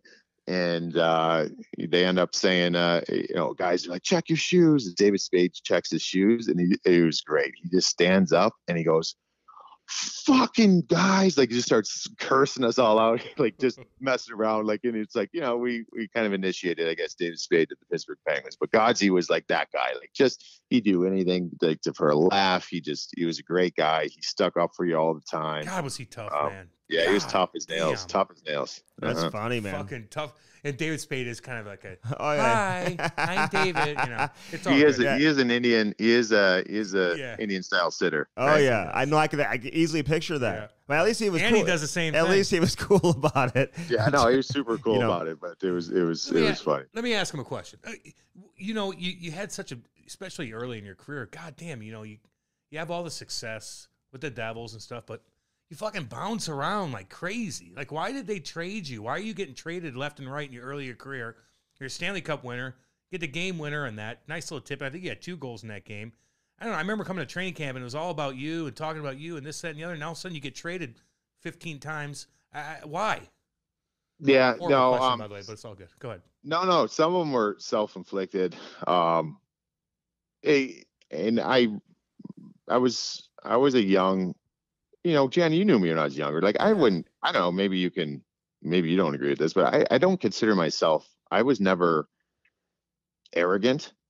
Um, I don't think to the to the outside. I, but I, I had a belief in myself, like, and I knew that I can do more than I was asked to do. But the the thing I struggled with in my career, and Jenny was a part of it the second time I came back to the Devils, and I had to learn that is like I had coaches early on that wanted something else out of me. They wanted a meanness out of me. And again, talking before, like I never that wasn't a part of how I grew up playing hockey. So I had to like learn it at the professional level. Even in the OHL, I didn't fight a ton. You know what I mean? I'd fight, I'd fight, uh, you know, five times a year, but it wasn't like I was a fighter and um, so I was always like a point getter growing up, and and you know I was I can even score goals in the in the O. I was scoring goals, and uh, so I, I think the big thing was I had coaches, and Pat Burns was my first NHL coach, and he was old school, and he was hard, and I was his whipping boy. And Scott Gomez always jokes around about. It. He goes, "The best thing about you coming on the team, Rupper, was that I wasn't the whipping boy any longer." so I was Pat's whipping boy, and I remember Joe Nieuwendyk sat next next to me in in the stall, and he would be so good to me because like I'm like there'd be times where Pat would give it to me. I'm like, I, I don't know, like I I I don't know if I'm it, like you start questioning everything, you know what I mean? Yeah, and man. Pat would just be crushing me, and I, I'll never forget. So after the Stanley Cup Finals, we win. Um, no, I was very fortunate in the finals in the last three games of the finals to play with Friesen and Langenbrunner, um, Jeff Friesen and Jamie Langenbrunner, and it was like uh, the most productive line those guys were, and I was able to be a part of it. So in Game Seven, you know, we win three nothing. I get three points, and I felt really good, right? In that summer, and I didn't go to my head. I wasn't cocky. I didn't. I you know I I still felt like I had to. I only played 30 games in the league at this point, so I had knew I had to still make a team in training camp. So you come into training camp and I, I swear we had like somewhere between eight and 10 preseason games. It was an absurd amount. And Oh, so, how it usually works, like you play one, you figure you're off the next one, or maybe you play two in a row, but then you'll be off the next one. We're playing one, two, three, four. I'm playing every game, every game, every game. And I'm thinking, like, all right, I'm going to probably be off the next game, every game, every game.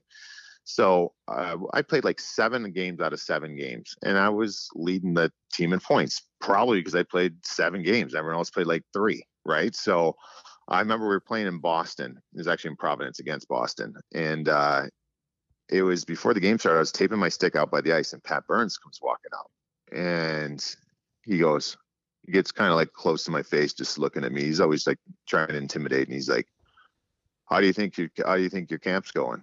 I'm like, um, yeah, I'm pretty good. You know, we're getting our line's getting some points, and you know, me and Jamie and, and Jeff have kind of, you know, built off of what we did last year. And and what and he just cuts me off and he goes, I fucking hate how you're playing. Oh, I'm like, oh, okay. like, I'm like, so I'm like, well, what what do you mean, Pat? Like, what what can I be doing better? And he goes, I don't give a shit if you ever get a point. He goes, if the other team, if 20 guys on the other team don't want to rip your head off, I've got no use for you. Mm. And for me, I was like, what the, like, okay, I get like that you want more of that, but like, come on, man. Like in, in, and so basically got to the point in New Jersey where I was just getting, he was whipping on me all the time, all the time, all the time. And I eventually went in there one day and I, it took me a lot of guts to do it because Pat was, Pat was a scary, dude. Scary, Like, yep. and I went in his office and I remember I talked to my parents, I talked to my agent. I was like, I'm, and all of them were like, just, you know, go in there, and show him some fire, show him some fire, you know? So I go in his office, I go, Pat, can I talk to him? And he's like, yeah. And I go, I sit down, I'm like, I just want to tell you, it's bullshit the way you treat me, and I'm not going to fucking take it anymore. And he goes, and he sits back in his chair and he goes, really? And I'm like, oh God, where's this going? and uh and then he says to me and then he starts going in this whole spiel about like um i don't know you want to be a hockey player and i'm like what do you mean he goes i, I just don't know i don't know if you kn- if you really really want to be a hockey player and he and he was uh, um a mountie uh Yep. and Yeah. in Canadian uh Mountie. Yep. Yeah CMP, mountie Yeah. yeah. So he was like, listen, man, I've got connections in that. I can give you a recommendation. If you want to go do that, you're just being an asshole, right? and I'm like, and I'm just getting more and more mad. So in the in in there, I'm like, you know what? I'm like, fuck this. Like, you're not gonna treat me like this anymore. And I'm like, and if you don't, if if it doesn't change, then you should trade me. And I and then we I left the meeting, and I got traded like the next fucking day. so I'm like, that didn't really work. So that that I got traded to Arizona. Lockout happens. Uh, um, I just kind of play out that year. My my contracts. Uh, sorry, I uh, they bring in Gretzky to coach in in Arizona, um, and they end up making a trade for Geoff Sanderson. I'm part of that trade because they wanted another 20 goal scorer, and I wasn't that. So Geoff Sanderson comes to Arizona. I go to Columbus. Then I had uh, I had a health issue with my heart that year, so I, that stopped me, and I didn't think I was going to play again. So then I couldn't get a contract, and so um, Lou Lamoriello called, and Lou was, uh, you know, he gave me a second chance, and I came back to Jersey, played in Jersey, and it was kind of, you know, once I played in Jersey, and and I had a you know limited role there, but I had a great time playing Jersey. That's when I was there with Janny, and but then it got to the end there where I'm like, I know, I know I can do more. I need to like, I won't be able to forgive myself in my career if I just didn't put myself in a position to to do more. And so I got a call as a free agent from Ray Shero in Pittsburgh, and he was like, uh, you know, we got three centers installed, Crosby and, and Malkin, and we like to rotate those centers through our fourth line. So you'll have probably four minutes, five minutes a night on the fourth line, and four or five minutes a night with one of those guys. I'm like, well, that sounds good. So I went there, and then I, I had two kind of career years, and uh, you know, just um, signed my deal with the with the Rangers, and then um, you know, but the thing with Pat Burns too, I ran into Pat. Pat was unfortunately, I mean, God rest his soul. Like Yeah. we know about Pat getting sick, and Yeah. I actually reconnected with Pat when I was with the Devils the second time because he was scouting for the team. And it was during when he was sick, and um, he was living down in Florida, and I'd run into him down there all the time, and it was so great, like to reconnect. And he was so different with me, and I was more mature now, where I can take. I just wish that I was able to grasp what he was trying to get. He was trying to help me. He wanted me to be like a, like a, basically like today's modern Tom Wilson, right? Like Yeah. he wanted me to be that. And I was too much thinking like, oh, you don't want me to play. You don't want me to do this. And that's not like I can play. And I, you know, we had a great relationship there where um, I was ready to hear it. And um, he was, he was great with me. But then, so I was in New York and, uh, you know, playing there and, um, yeah, just, uh, it got to a point there in New York. I was dinged up uh, with my knee. I had knee surgery when I signed there, and I, I was basically playing on one leg for the rest of my. I was playing out my rest of my career, and um, I just wanted to. I don't know. I wanted to. I wanted to go somewhere else, and uh, I wanted to play with my buddies and just kind of have fun. so I got traded.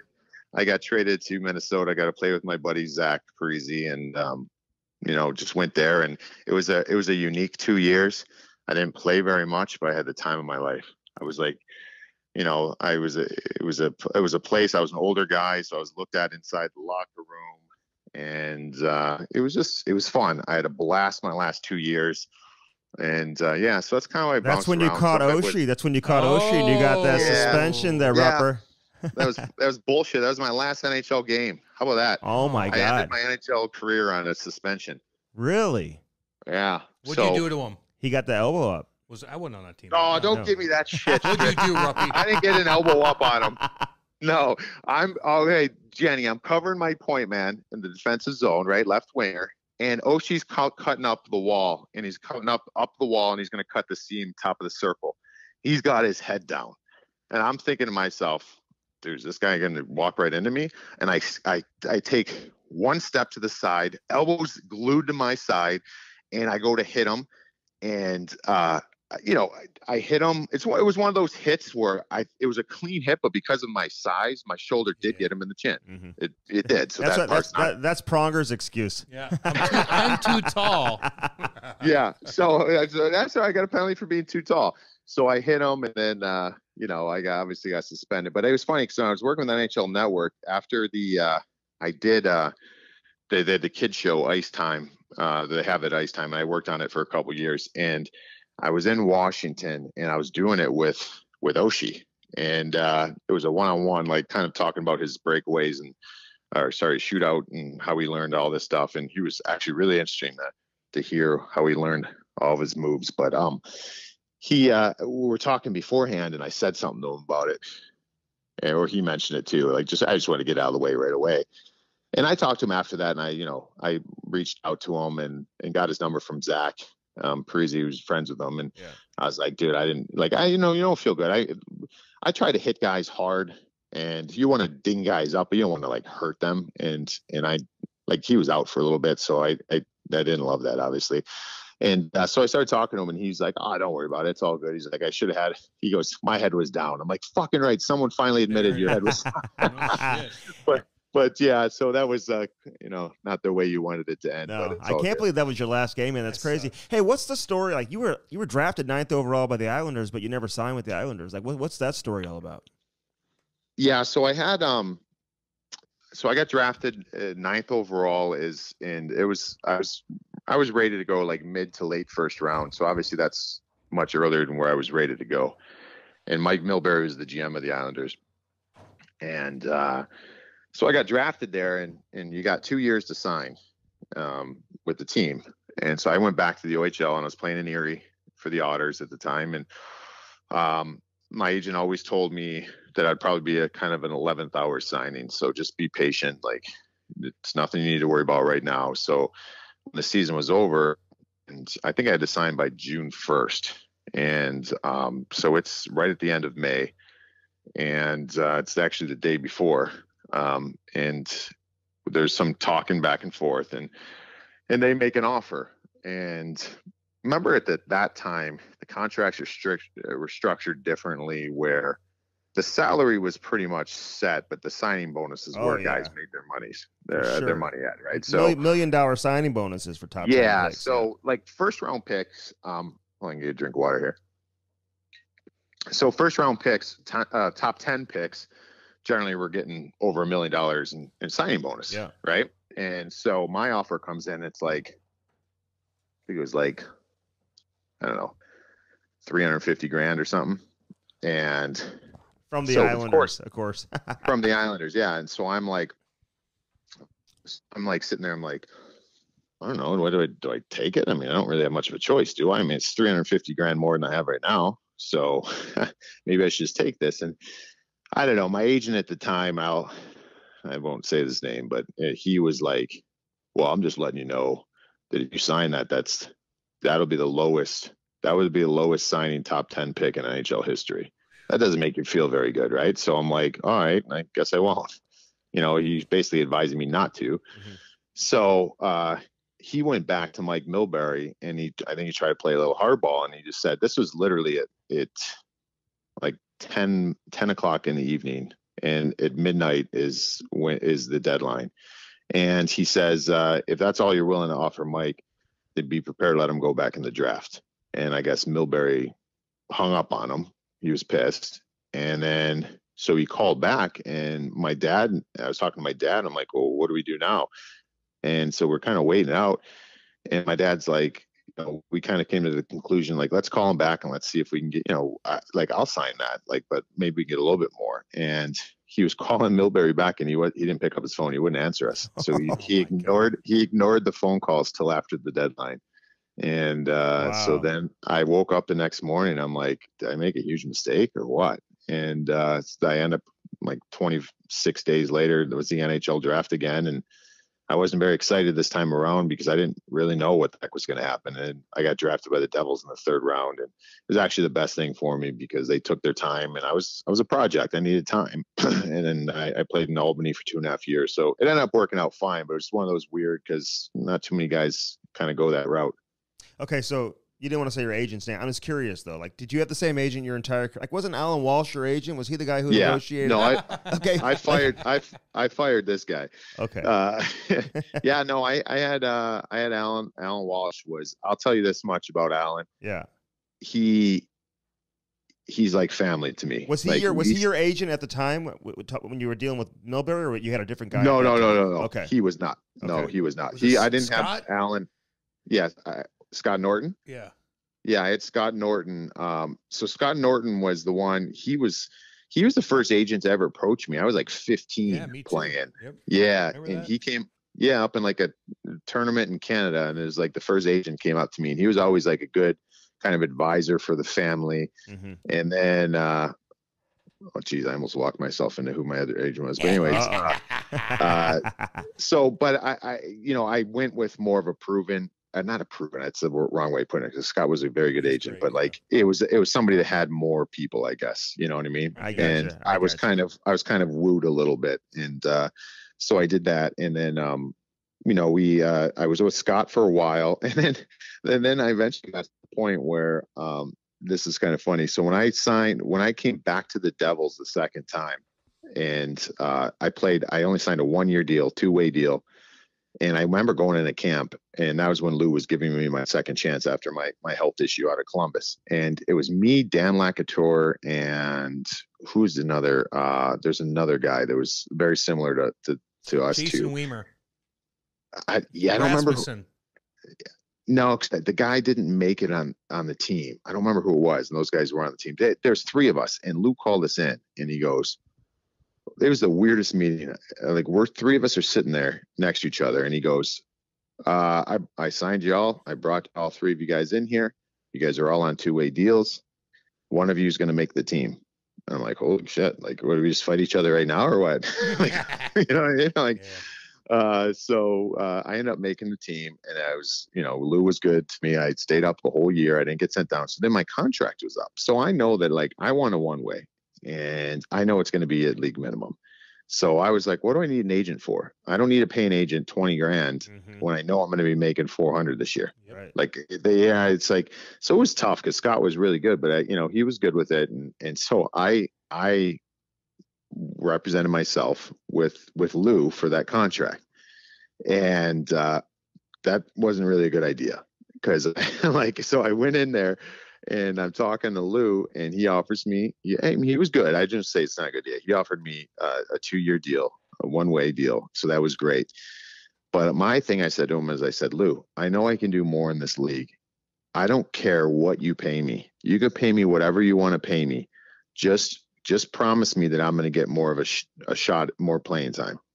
And he goes I, I have no doubt that you'll earn more playing time. So he's like, he's he's like wording it like you'll earn more. Yeah, no, I know, I know, I have to earn it, but I just want like a, gentleman's like agreement that you know you can pay me what you want and um, that I'm going to play more. So he goes, all right, and then he offered me league minimum, and I was like, really? Like I thought maybe like just a little bit more. So he offered me league minimum, and I go, "Lou, really? Like I didn't, I didn't have an agent come in here and try to do whatever. I'm like, I, you know, can you give me a little bit more? I can't, I can't, I can't. Hung up the phone with him, and I remember I, th- I threw the phone across the room, smashed it against the wall. I was so mad. I'm like, why did I do this? You know what I mean? Like I, I you know, I, I thought that, you know, whatever. The phone rings back like three minutes later, and It still just- worked. The phone still, worked. You didn't throw it that hard then. You got a weak No, arm.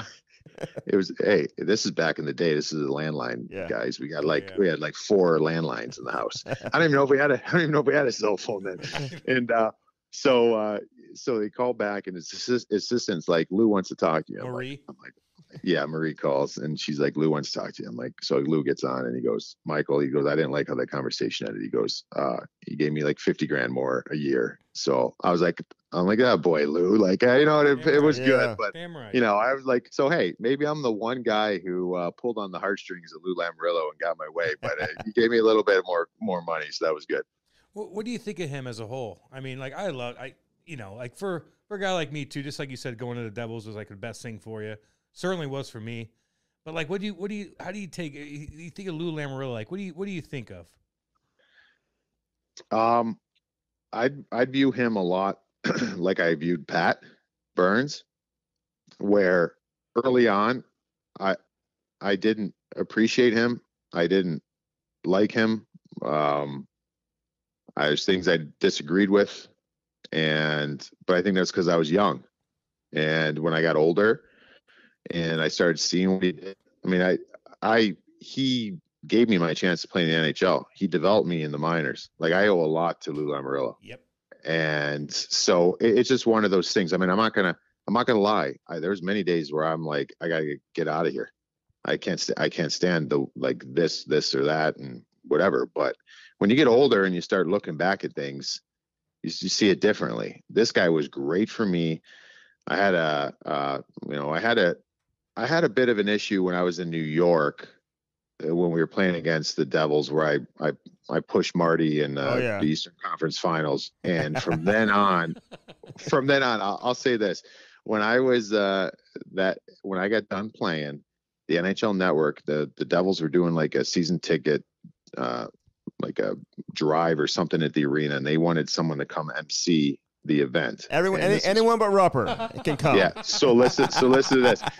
They wanted. They had different things going on at the Prudential Center. Like, okay, over here is going to be this. Over here is going to be that. And they need like two or three um, hosts slash analysts to come and, and do these things.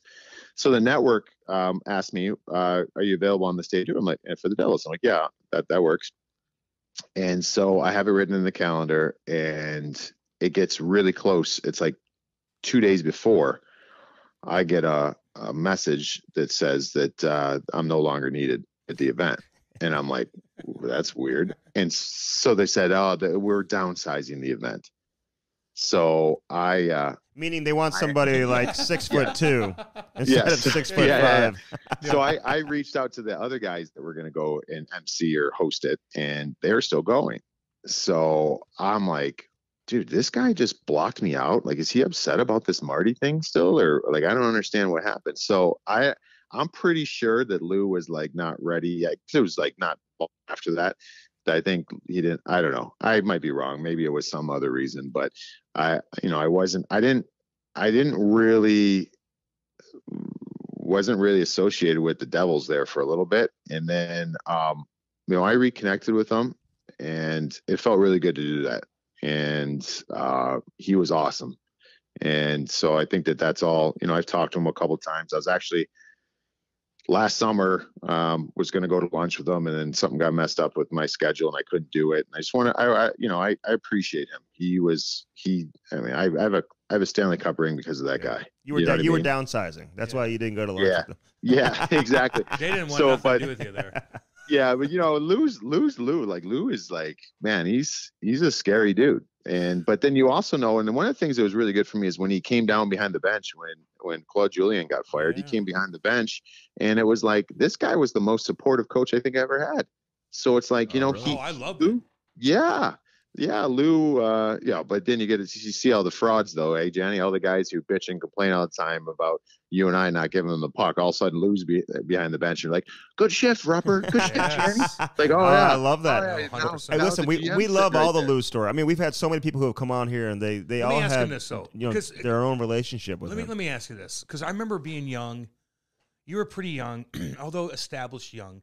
But when Claude Julien got fired, like I never understood it. We were kicking ass, dude. We haven't lost a game. I think we were like We're in We're- first place. We're in first place. We're, we're smoking everybody. I knew Johnny Madden had a kind of like a little thing with him where he shot a puck at him. We What the- asked we asked Lou about this when he came on with us What- too. what- he didn't really give us. he didn't give us an answer. you know? What what the fuck happened there? So, Jenny, I'm I might be mistaken, but I think you we called you up that year, right? Yes.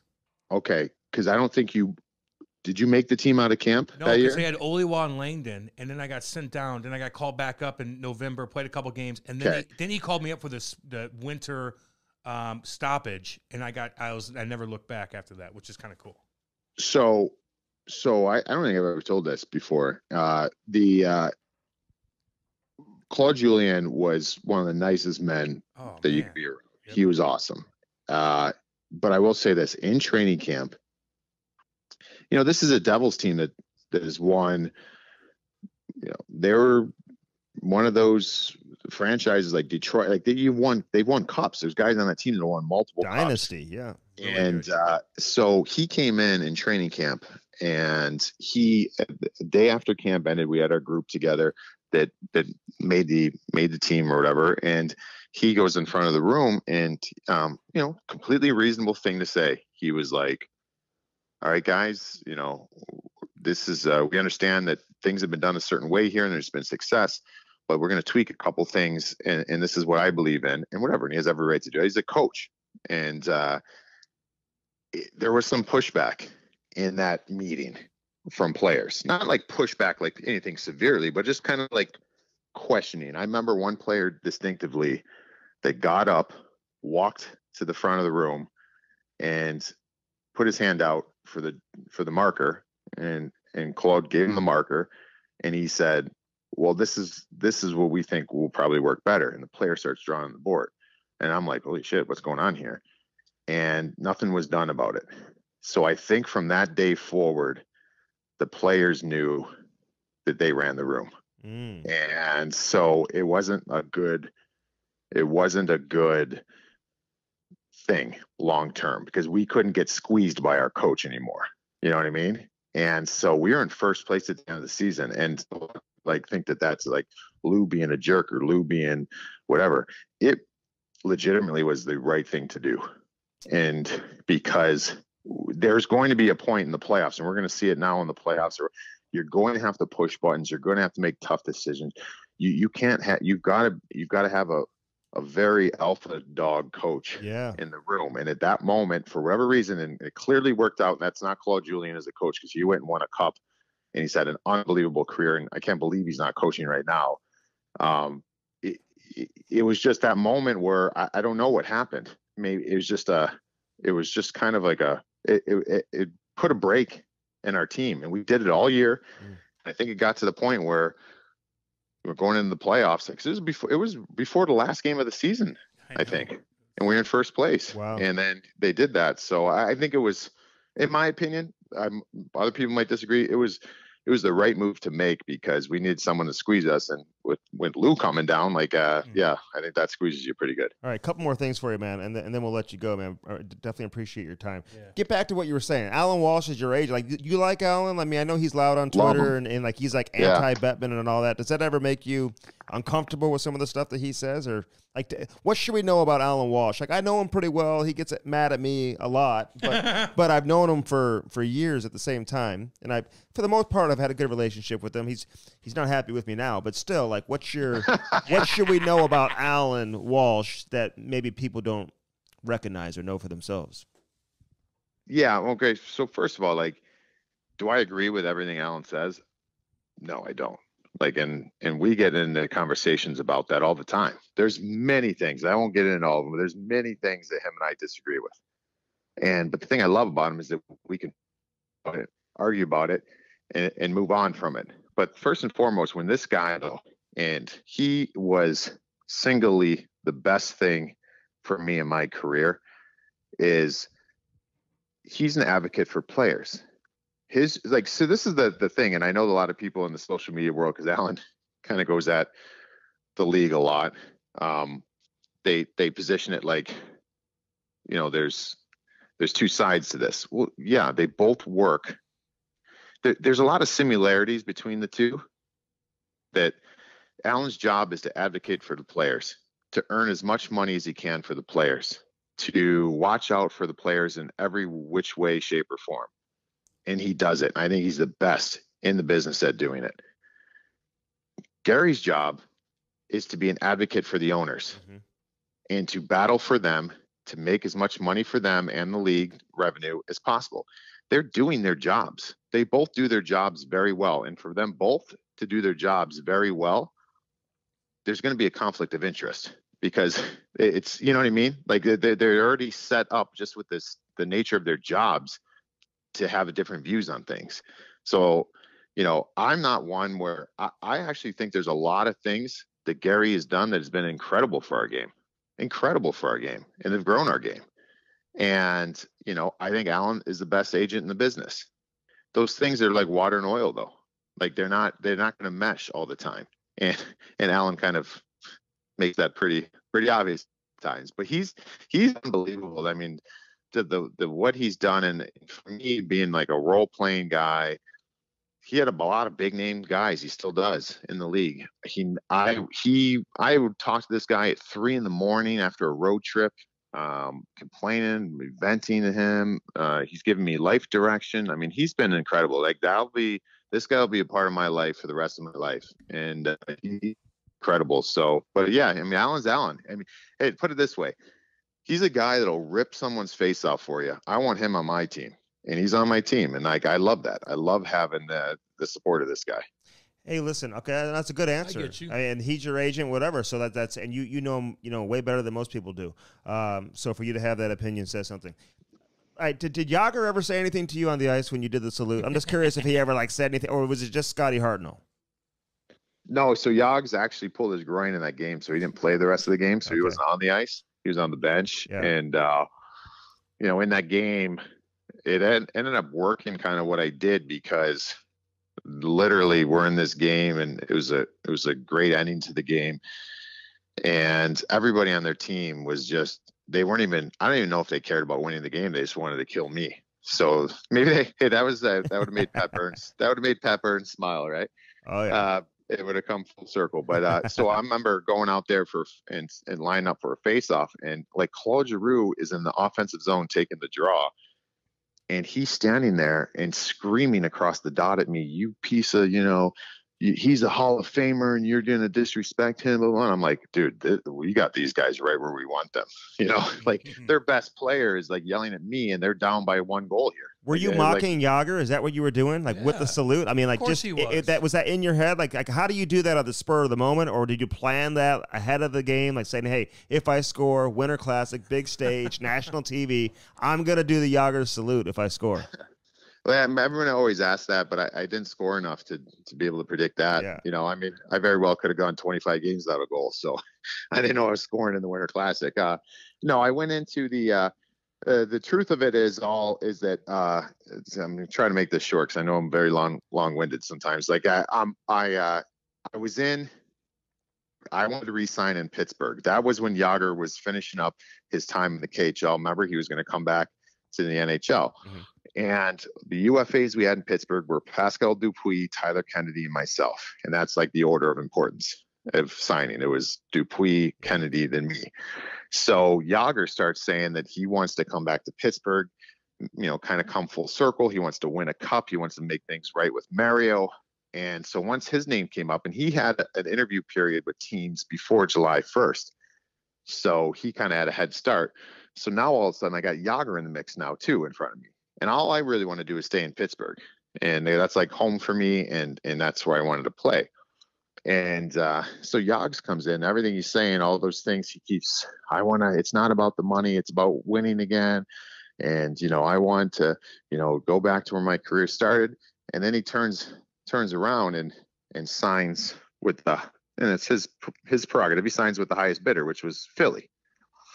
And but what ended up happening by that is he drug it along to a point where I was not able to talk my contract fully because they're waiting on him. And I felt like he was I felt like he was playing games to get more money mm-hmm. and he's using the Penguins to do that. So I'm like, you know, this guy's contract messed up mine. So I'm like, screw this guy, you know? and so I kind of had like this thing. I'm like, I'm gonna get. I remember saying like, I'm gonna, I'm gonna, I'm gonna catch them one of these times this year. And I didn't get an opportunity to do that, so I just kind of had it in the back of my mind that like I wanted to get Jagr at some point, just hit him with, get him with a hit or something. And uh, so, uh, you know, in that game, no, I didn't think about it before the shift. Anytime before the game, I didn't think of anything. I, but I did know, and I, what I learned over my career is I learned how to be a bad guy and be a heel a little bit, mm-hmm. and I I really liked it, and I got the same feelings with that as I did when I'd score a goal. You know, it was like a rush you get, and oh, Jenny knows like how it, it's like, hey man, I love like I love going in Montreal and laying someone out with a hit and getting booed. Like that was just as big for me as getting cheered for scoring a goal at home. So I scored that goal. We're in Philly. We're down two nothing. I scored the goal and it was more or less me just like in that moment i don't know why it popped in my head I, it was just like i remember literally under my breath when i did the Jagr salute just being like when i put my hand up to my head i was like fuck you. And i did that like did that to like towards their bench and towards the crowd. And uh, so you know everybody lost their minds there. Um, you know i ended up having to fight jody shelley later on the next time we played them. It's like you know, well, you the, called him irrelevant, right? Yeah. So, so, I, so Jody, so I, I kind of, you know, I kind of dug my own hole though. Jody beat me up later in the season, and uh, you know that was that. And then um, it was funny because I was working the All Star game for NHL Network when it was in LA, and that was the year Jagr was in Florida, and he made it to the All Star game, and I was walking through the hotel with uh, Tony Luftman, who I work with, mm-hmm. and um, he, has got no energy, by the way. Is he a low energy guy? he's awesome, dude. Yeah, oh, yeah, he's the best, all, man. Always high energy. Though. Oh yeah, yeah. yeah. And uh, so I'm walking to the elevator with him, and all of a sudden, like coming from another um, way to the elevator, Jagr comes walking by with somebody that he's with, and they walk into the elevator. So I put my arm out to Tony you know, like, hey, let's just wait. I don't feel like being in an elevator with this guy. and uh, so I, I just want to like, you know, because I know that like I, I probably have to say something. I didn't want to. Oh yeah. So, uh, so he goes up the elevator, and I brought my daughter uh, trip with me. It was like a father daughter trip, and I was going to take her to Disneyland that day because we had some time off, and that's what went up to get Maddie and go rent a car and go to Disneyland for the day. So I think that that moment has passed as far as with Jagr. I go up, I get Maddie, we go. Uh, the only rental car place is like a mile outside LA, two miles outside LA.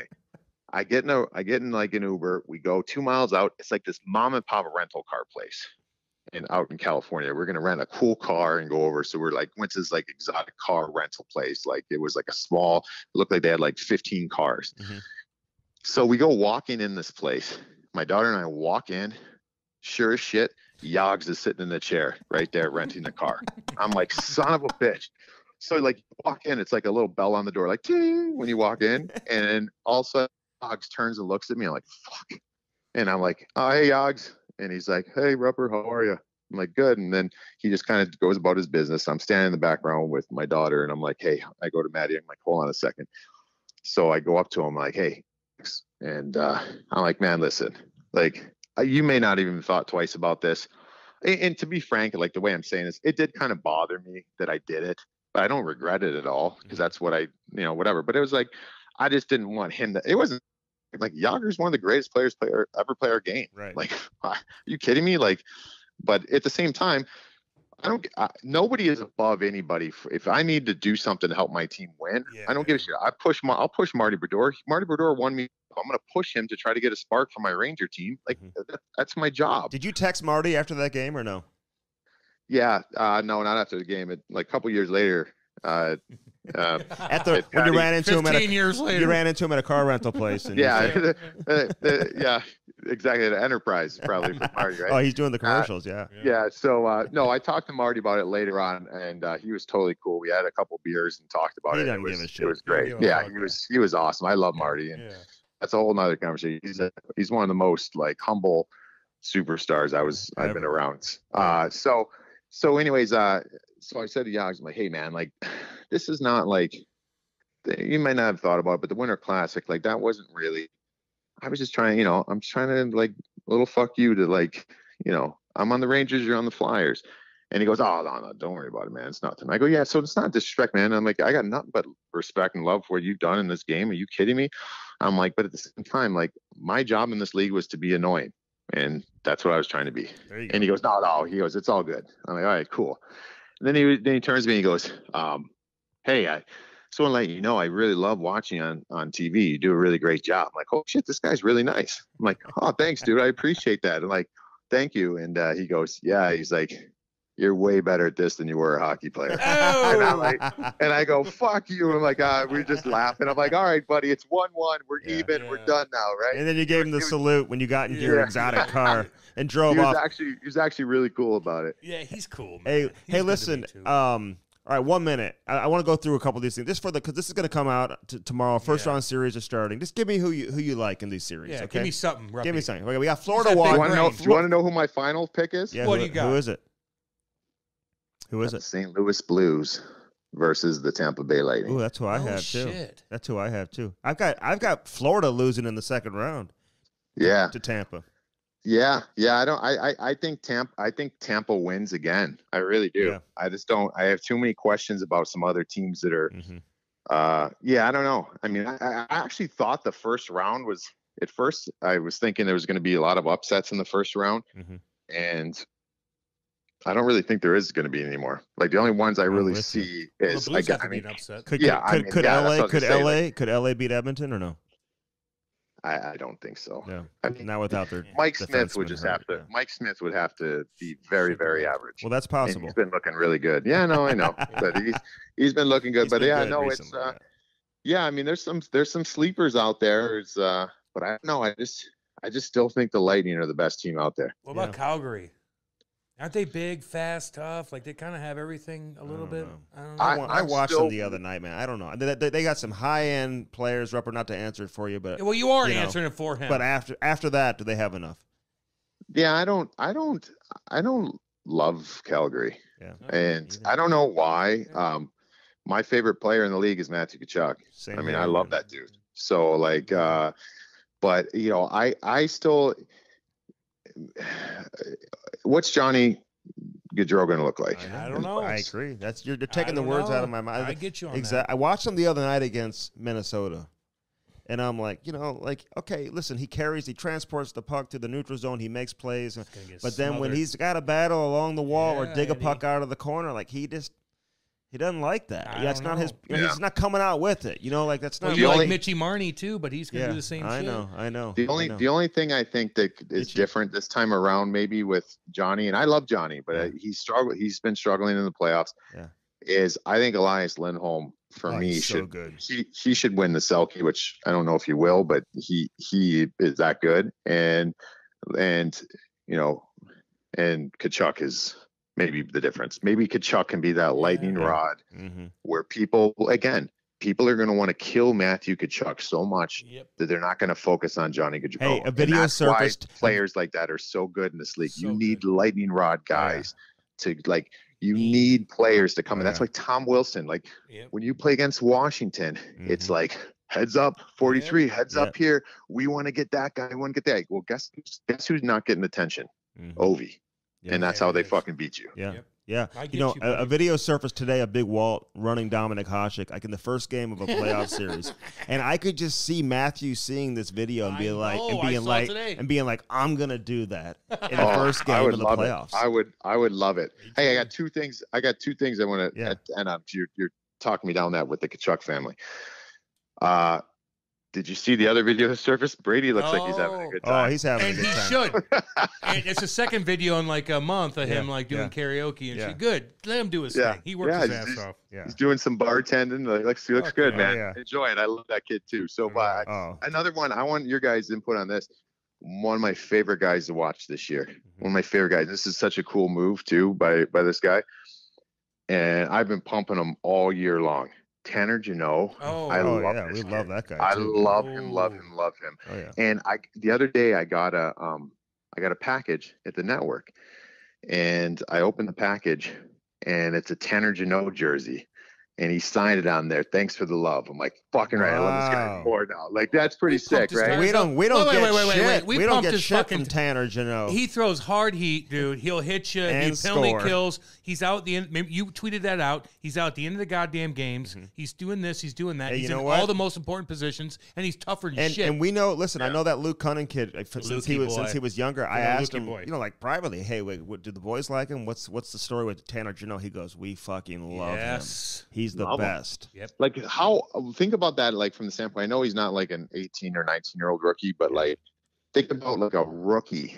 Oh i know that team's tough. They had over Mm-hmm. 60 majors this year most in the nhl Or West but that kid think about like i, I like listen i'm not just saying it because Janny's here too but like when Janny came to the devils and you have a young guy that doesn't give a shit about anything like that makes everybody on the team like not give a shit about And you score scored 24, 25 goals. yes Yeah. so when you have a young guy that's going out there and he's like Janny didn't like, do "No, that. man, Shut up, no one's doing this. You know what I mean? Like it's Yeah, it's man. yeah. Yeah, maybe minus the 25 goals. Well, yeah, whatever. we had we had we had star star power on the fir- first three lines. It doesn't matter. I know. Yeah. How does he not win the Calder? I can't believe this is even like a discussion. Like I know I- I- Michael Bunting or whatever, nuts but He's he's like not 30. getting enough. He's not getting enough love in that area because he did- didn't he didn't he end up finishing first in goals? Is that in- or is he among right there? rookies, yeah. And Bunting got hurt Yeah. down the stretch, so And Yeah, tough. so and, I he- don't and know. he's I not playing with appreciate that. Matthews and Marner either. no so shit. Yeah, no, I agree. So, I agree. hey man, keep up the great work. We love you, dude. You're awesome. All right, thanks guys. I You're appreciate it. And, Go- uh, Go- yeah, go. we'll uh we'll get you guys a if it, our predictions go right and the Blues go to the finals, we might get you guys on that talkie talk and get on talk some Blues talk in Let's the do it. playoffs here. Let's do We're it. ready, So- homeboy. Keep doing your thing, Awesome, dude. man. Love you, buddy. Thanks, guys. Right on, All buddy. right, Love you Rupper. guys, too. Take See care, man. The Cam & Strick Podcast is brought to you by Behlmann and Behlmann.com. B E H L M A N N dot com. Get out there to Detroit, Missouri. Check it out. On one side, you got the Buick, the GMC, options for everybody. Then right across the street, you got the Chrysler, Dodge, Jeep, and Ram. Again, find something that works for you and get yourself a new set of wheels in time for the winter. All right, that was uh, Mike Rupp. Rupper. Cam, put your damn headphones on and get your mic I going. got you, homie. Okay. God damn. I ever- fought him a shit you ever ton. late to practice? Never. Late to games? Do I? Do late on the ice? Never, never, know- never, ever. Even if I stayed up all night partying, not like I had booze. No, party hardcore. And my mind was the so last one there. No, just like didn't sleep all night, and I got to regroup. Like, "Ah, smack yourself in the face. Get up, Cam. Mm-hmm. Get the fuck to practice before everybody and stretch. And I do that, and I drink Pedialyte like blah blah blah. Then I go to Ray Barilli and take a bunch of Z packs just in case, just in case, mm-hmm. just in case. Mm-hmm. Crush the Z packs, get hydrated, figure it the fuck out. No one had any idea I didn't A sleep. Z pack. Zithromax. You crush that? oh god, yeah. What is it? Like a pill? Yeah, Andy, it's a pill. It's a pill that takes all the bacteria on your wee wee, Mm-hmm. and it uh, it, uh, it takes it it, uh, it, it it it takes into the ether, Yeah. and it goes away. Well, Rupper, I, I've heard him tell a story one time how he was uh, late to the rink. He got stuck in New York City traffic. I Well, had that's time on to you. talk to him about That's it. on you. No, he left like several hours. I don't give time. a fuck. And so he ran to That's what you MSG, do. 35 blocks away. That's what you do. I remember. And he was sweating his ass I off when he got there. I'll give you an example. One time, I got stuck in New York City. Christoph Oliwa left me down there. God, was this recently? fuck no. I was 20 Oh, years you old. told the story because you just ran Yeah. into him in New- New Jersey. no, no, no, no. I was in training camp with him, and I went to eat at his house, and we took a cab all the way to no, you fucking told New that York. story because you did. Well, you did just see him though, right? Yeah, just Yeah, saw him. yeah. And so uh, he left me down there. I was 20. I met a girl, went to a gay bar with a girl, had a lovely time. No, I could say that. Mm. Went. She took me to a gay bar, knew a bunch of people there. Hot chick. I went in there. I was the king of the ball there. Oh, they all knew who you oh, were. no. No, they had no idea who I was. I was 20 years old. I didn't even make the team yet. But I was They're like, "There's Cam." I was not. Everybody was so sweet to me. I felt like, I felt like good because they're kind of hitting on me too, and I'm like, God damn right, I must be kind of sexy. Plus, I had a good looking chick next to me, so I went to her house. I puked on her bed, which is Oh not. my god, Andy, Cam, very- I know. You are so Yeah, embarrassing. Such a hoosier. right now. I'm such a fucking hoosier. I've you pu- have you On- ever no, puked on no, somebody else's no, bed no, ever no, before? no, no, no. I took a couple things that night, and I think that it got me. At, What at- kind of things? Ah, Okay. well, you know, Well, they were hand- you tell hey, us? they were handing me things at the gay Oh, bar, but- and I'm like, "What's up?" And I ate them all, and I got fucked up, and I puked, and I puked on her bed. Then I had to get a cab, and it was 6.30, 7, 7 o'clock in the morning. We had 9 o'clock practice. I couldn't get. I had my Mm-hmm. oh, and same. you were late to practice. I had my suit on still from the night Well, before. but you didn't take it off when you were in bed with the girl. I mean, you, didn't, you slept with it. Oh yeah, I took it off and I puked everywhere and I put with it back on. I slept on a chair. slept with your She was on. not happy with me. Never talked to her again, obviously. But I remember trying to get to practice in time, Mhm. and I get there and I'm before everybody else, and I didn't sleep one second. And I walk in, I'm like, I don't want Lou to see me because he knows if I have my suit on. Oh. Oh, my Andy, come on. Yeah. So I ran in there. I go to our trainer at the time. I go, give me some warm up stuff to, to, dry, to I'll pack everything in a bag. And so when I walk out of here, I don't have Who, my. Richie? No, it was a different guy at the time. Got fired, stealing money. Anyway, Oh, jeez. Yeah, well, it, And what's the story with that? he stole money from the fine fund. Got canned. Like, where's that money? Is it sounds like it's not like sitting in a Right, basket? Yeah, it is. Is it Mm-hmm. like church? Like how they pass the Yep. the uh, basket around? I wouldn't know. But yeah, you said you did earlier in the in the intro. I didn't. I You to know, go to when church. You're praying and stuff and all that. I yeah. pray on the bench. I Oh. didn't mean I'm in church. I pray to J- Lord Jesus and my family, and my dogs and stuff, and I felt good about it. And not, not that I was G. I The don't know what the dogs, fuck I was talking yeah. about, but it worked. the dogs. But anyway, he did that. But I get he gave me an outfit to wear to leave, and everybody's like, "What the Mm-hmm. Oh, fuck?" to leave after practice. To yeah, so I didn't have to put my suit back on. you on. can't take that stuff home. I, I took like devil's gear Mhm. that like I wore. It Did just you go home and I- like some like yeah, some like Andy. basketball shorts? I got there so early. I d- got there before Lou, which is It's like hard the to stuff do. they give to like the uh, Yeah. prospect camp. Yeah, you know, like exactly. And I wore that home, and I put my my suit in like a plastic bag, and I took it out. But I got there for everybody. I never ever motherfucking missed practice. Well, Rupper ran Not 35 blocks. close. He ran 35 blocks. Oh well, And I was was like out. sweating. It was it was hot out. It was I was in a weird spot. Yeah. Well, you shouldn't In be my doing mind- that. Well, I did it. You shouldn't be doing that. I partied harder than anybody in the league. Did you? Yeah, You think so? I think I. Is partied- that like a badge of honor for you, or are you? I'm like, You look back on it. I look back like you. you I could. You wish you would have done it differently. Yeah, of course. I wish I would have done it differently. So if you had to go start over right now, what are you doing differently? oh, not getting on the painkillers. Okay. Spend half a half a million. What else are you not doing? Oh, a lot of things. Okay. Man. A lot. It's a lot of things.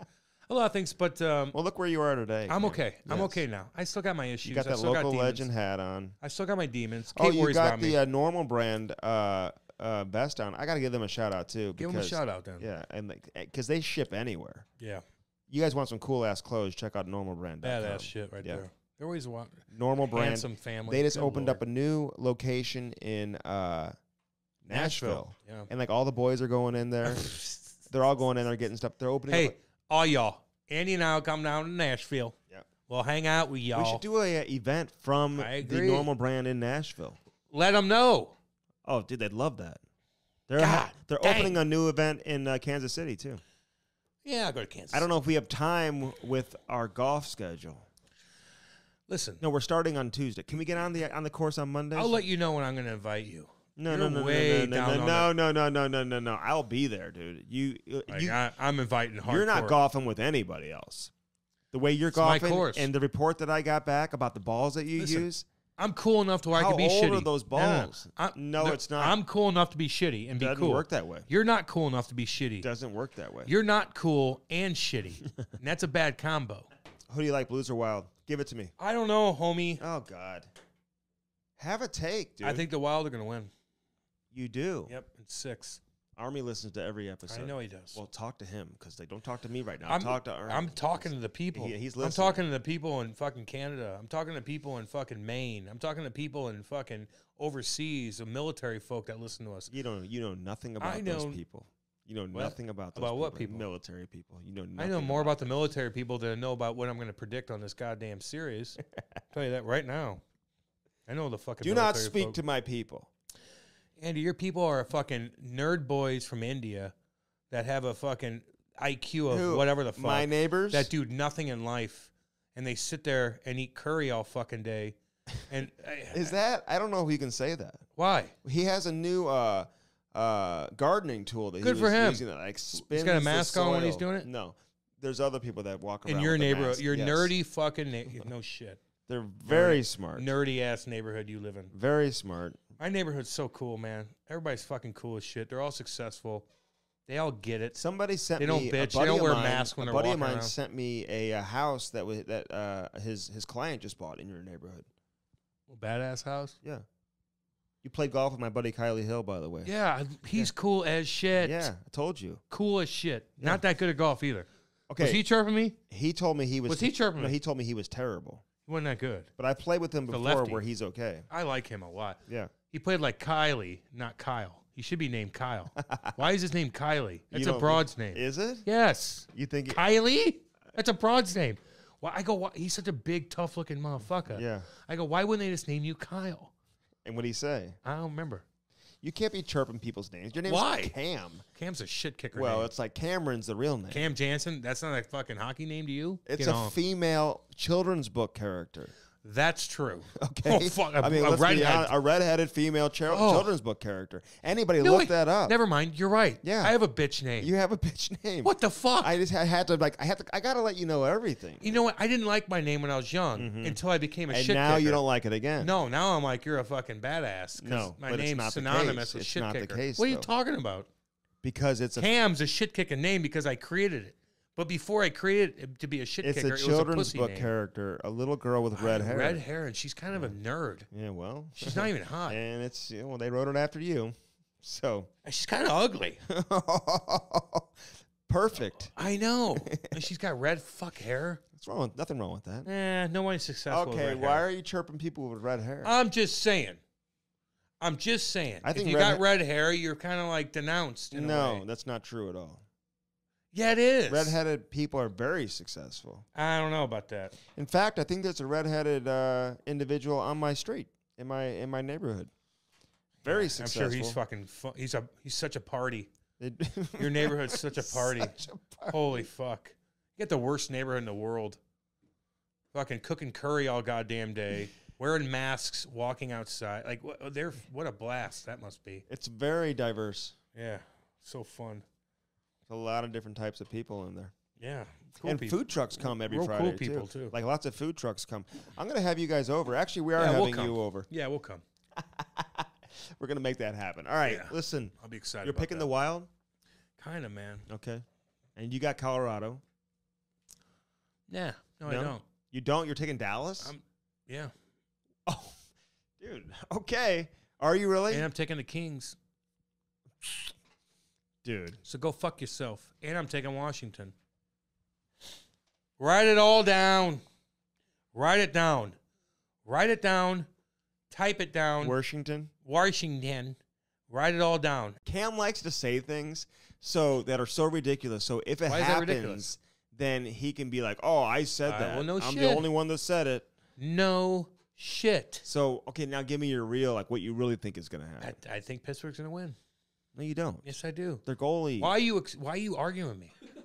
How can you argue with me? Because you're trying to like. the goalie said you, you Yeah, don't know. dude, you're you said the to same thing in like- 2019 with the fucking Binnington. What's the difference? You don't know shit. You're trying to be. You don't know shit. You don't know shit. All you out there that act like you know shit. All you you don't know shit. So go fuck yourself. Okay, Pittsburgh's gonna win. You're trying to be like, um, you know that. Who? Who? Oh, hot take guy. Well, Oh, I have hot. Listen, I'm gonna say something that nobody else is saying. you asked me a goddamn question and I answered it. Who's gonna win the Hart Trophy? I don't know. Hey, you know who's gonna have a hell of a series though? Mark my words. Mitchy Marner.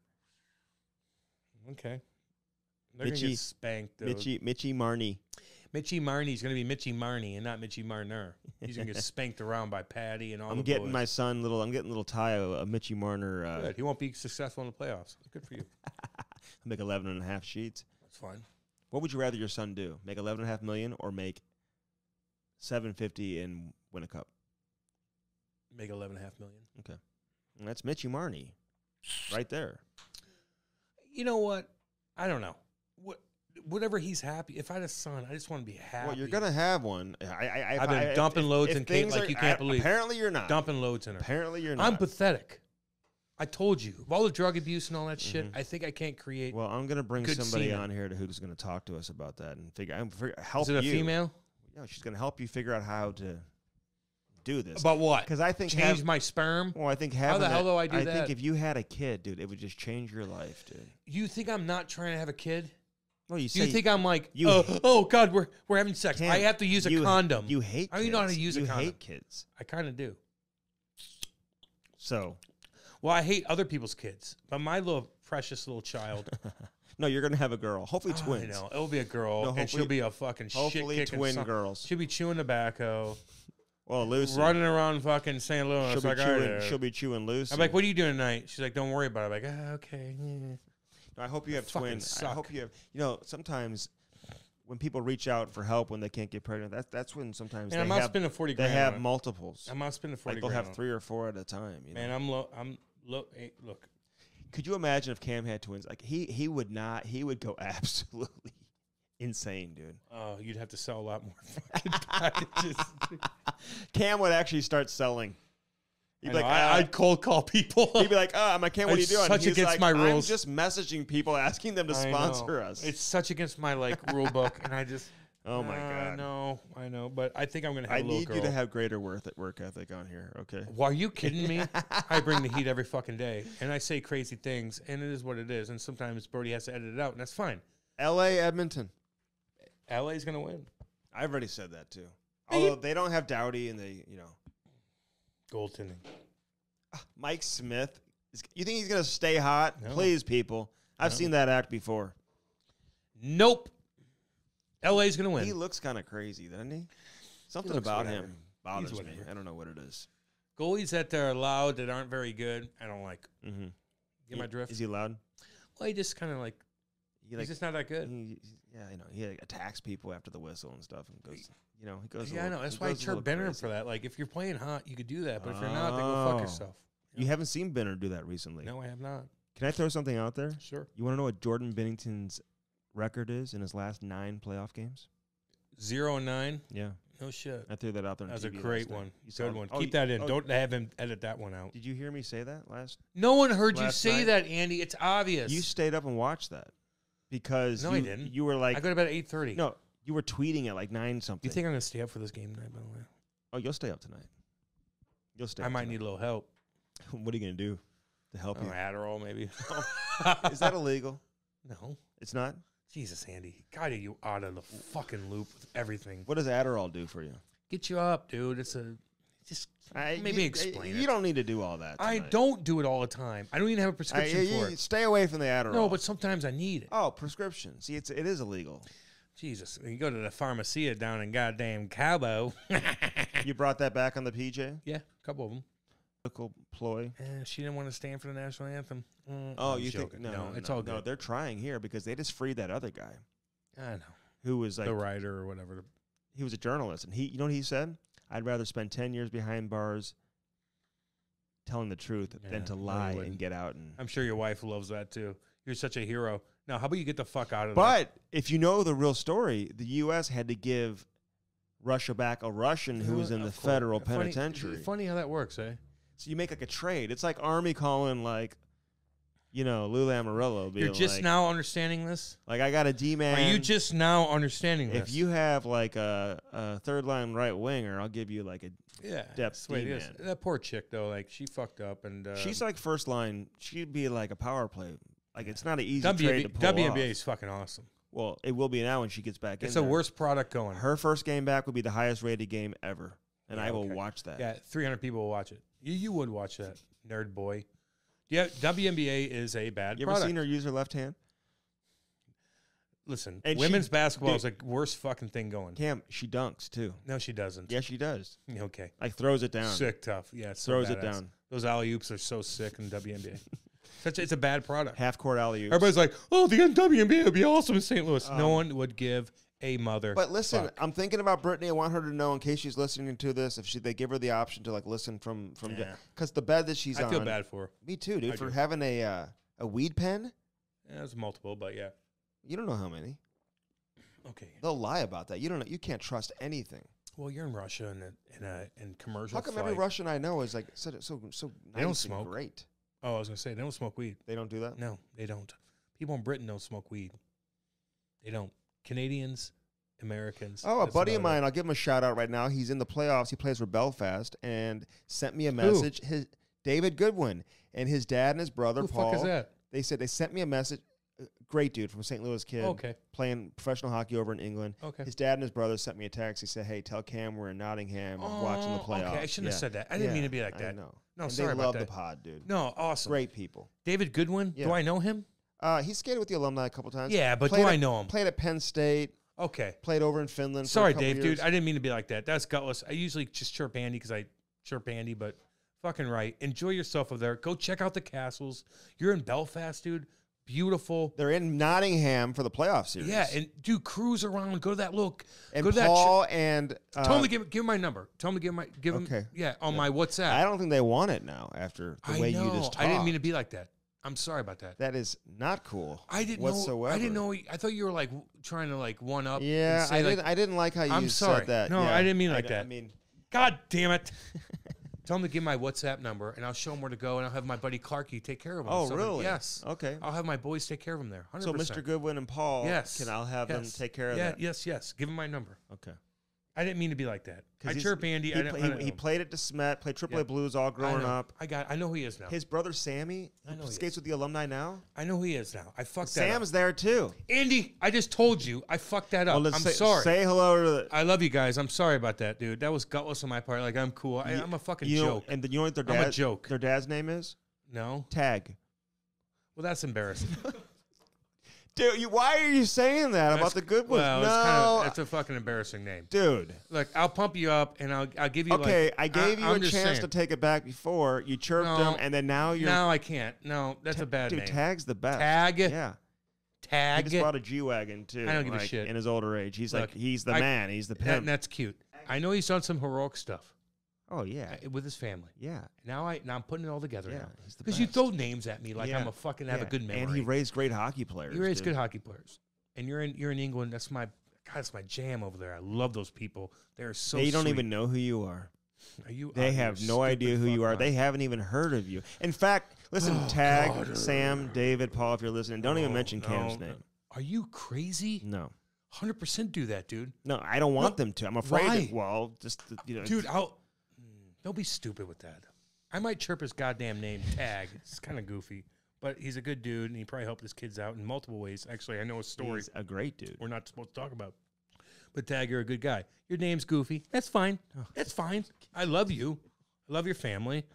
Enjoy yourself over there. WhatsApp my ass, and I'll hook you guys up. What's that?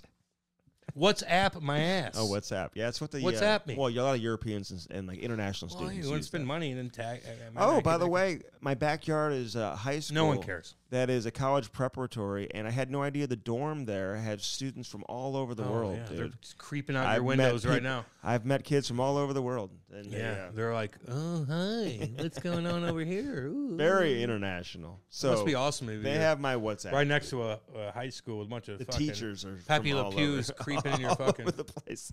All right, we got to get out of here. Uh, enjoy the playoffs, man. Will you? Man, I will, but I'm gonna go to bed tonight. and follow us. Brody's gonna get us up on that uh, Streamyard, and we're gonna be putting out some videos. yeah, yeah. Okay.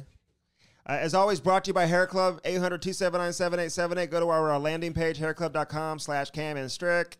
Of course, Car Shield at 800-857-2481. Use that promo code CAM. Very embarrassing, but it's going to save you 10%. You got to get that protection. Of course, Loosey Goosey, baby. Get all the flavors. Try the gum, the lozenges, and um, the, uh, what else, Cam? Pouches. The motherfucking pouches, homeboy. God damn. Get all your different flavors and try them today. Lucy.co. Not com, dot co. Try the different flavors and use our promo code to save bundles and bundles of cash. The BBB, BBB.org. Say hi to Natasha. Hi. Say hi to uh, Chris. Hey, dude. And say hi to everybody out there who is, uh, you know, whose Hi. company is reviewed on the BBB. Hi, Natasha. BBB.org, baby. Bellman.com. Say hi to Danny Boy and Kyle what up, and Danny Dale. Boy? Dale. Kyle. Not Kylie. Kyle. hey, if you have a used car though, take it to Bellman. They'll buy Hell it from yeah. you above Kelly Blue Book and get that maintenance check. They brought up a great point about that. And your car gets a lot of wear and tear during the winter, so they brought up a very good point. yes, they did, Andy. All right, we appreciate everybody for uh, supporting us on the uh, Cam and Strick podcast. Follow all of our shit. Follow- I'm, I'm the king of Instagram. Follow me on Instagram at uh, Real Strick Nasty, and you can follow me on Twitter at Andy Yeah. Strickland. Follow Andy on Twitter more than anything because actually he does good stuff on Twitter, but it's But Instagram. follow our Cam and Although Strick. I will say something, What? and it pissed me the fuck oh, off. what?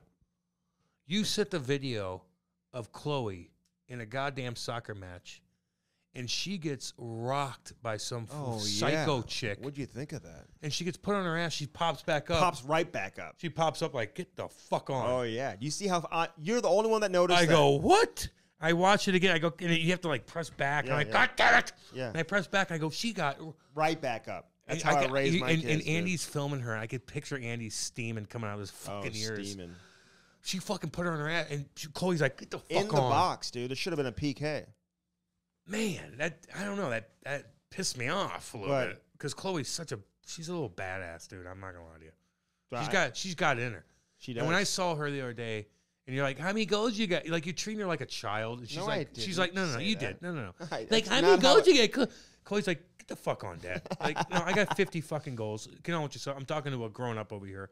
She's talking to me, and like you're trying to like me, me, me, me. She's like, "No, like she's just cool as shit, dude." She looks nothing like you. That, you know, she looks just nothing like, like, you. just like me. And she kind of does look like you, doesn't Yeah, she? she does. But like a tougher, more pretty version of you, if that's possible. She's cool, man. She's like she get- popped right back up. She popped up like a badass. You see biatch. how I raise my kids, dude? We don't lay on Ah, the field. well. We don't lay on the field. She lit. Yeah. No. Did you ever lay on the ice? Get out. No. Hey, did you ever have to have the coach come Yeah, I out? one yeah, time. Cam, are you okay? Yeah. When I was choking on my fucking Oh tongue, yeah, I remember that. I was there for that. I still try to get up. I don't lay on the ice. yeah, you I don't lay did. on- I was knocked out, you idiot. Any other time? No. When you were a God, I kid, you never- probably did all the time. I did one time. Oh God. I was playing two years What did up. Denny have to say oh about that? Oh my god, he was not happy about that. Holy, because I was like telling people to sit down. What about Amy? She wasn't there. But I remember putting guys down, like bam, bam, and I was playing two years Mm-hmm. up, and the guy put me on my ass. And you're like, yeah. And my dad goes, Get the fuck Yeah. up. Okay. Get up. Yeah. You gonna fucking talk shit? And then you get, yeah. Okay. Don't all right. you do that pussy shit. Thanks for listening to Mike Rupp. All right, and love you to guys. us. Episode number 184, baby. Yeah. This is the Cam and Strick podcast.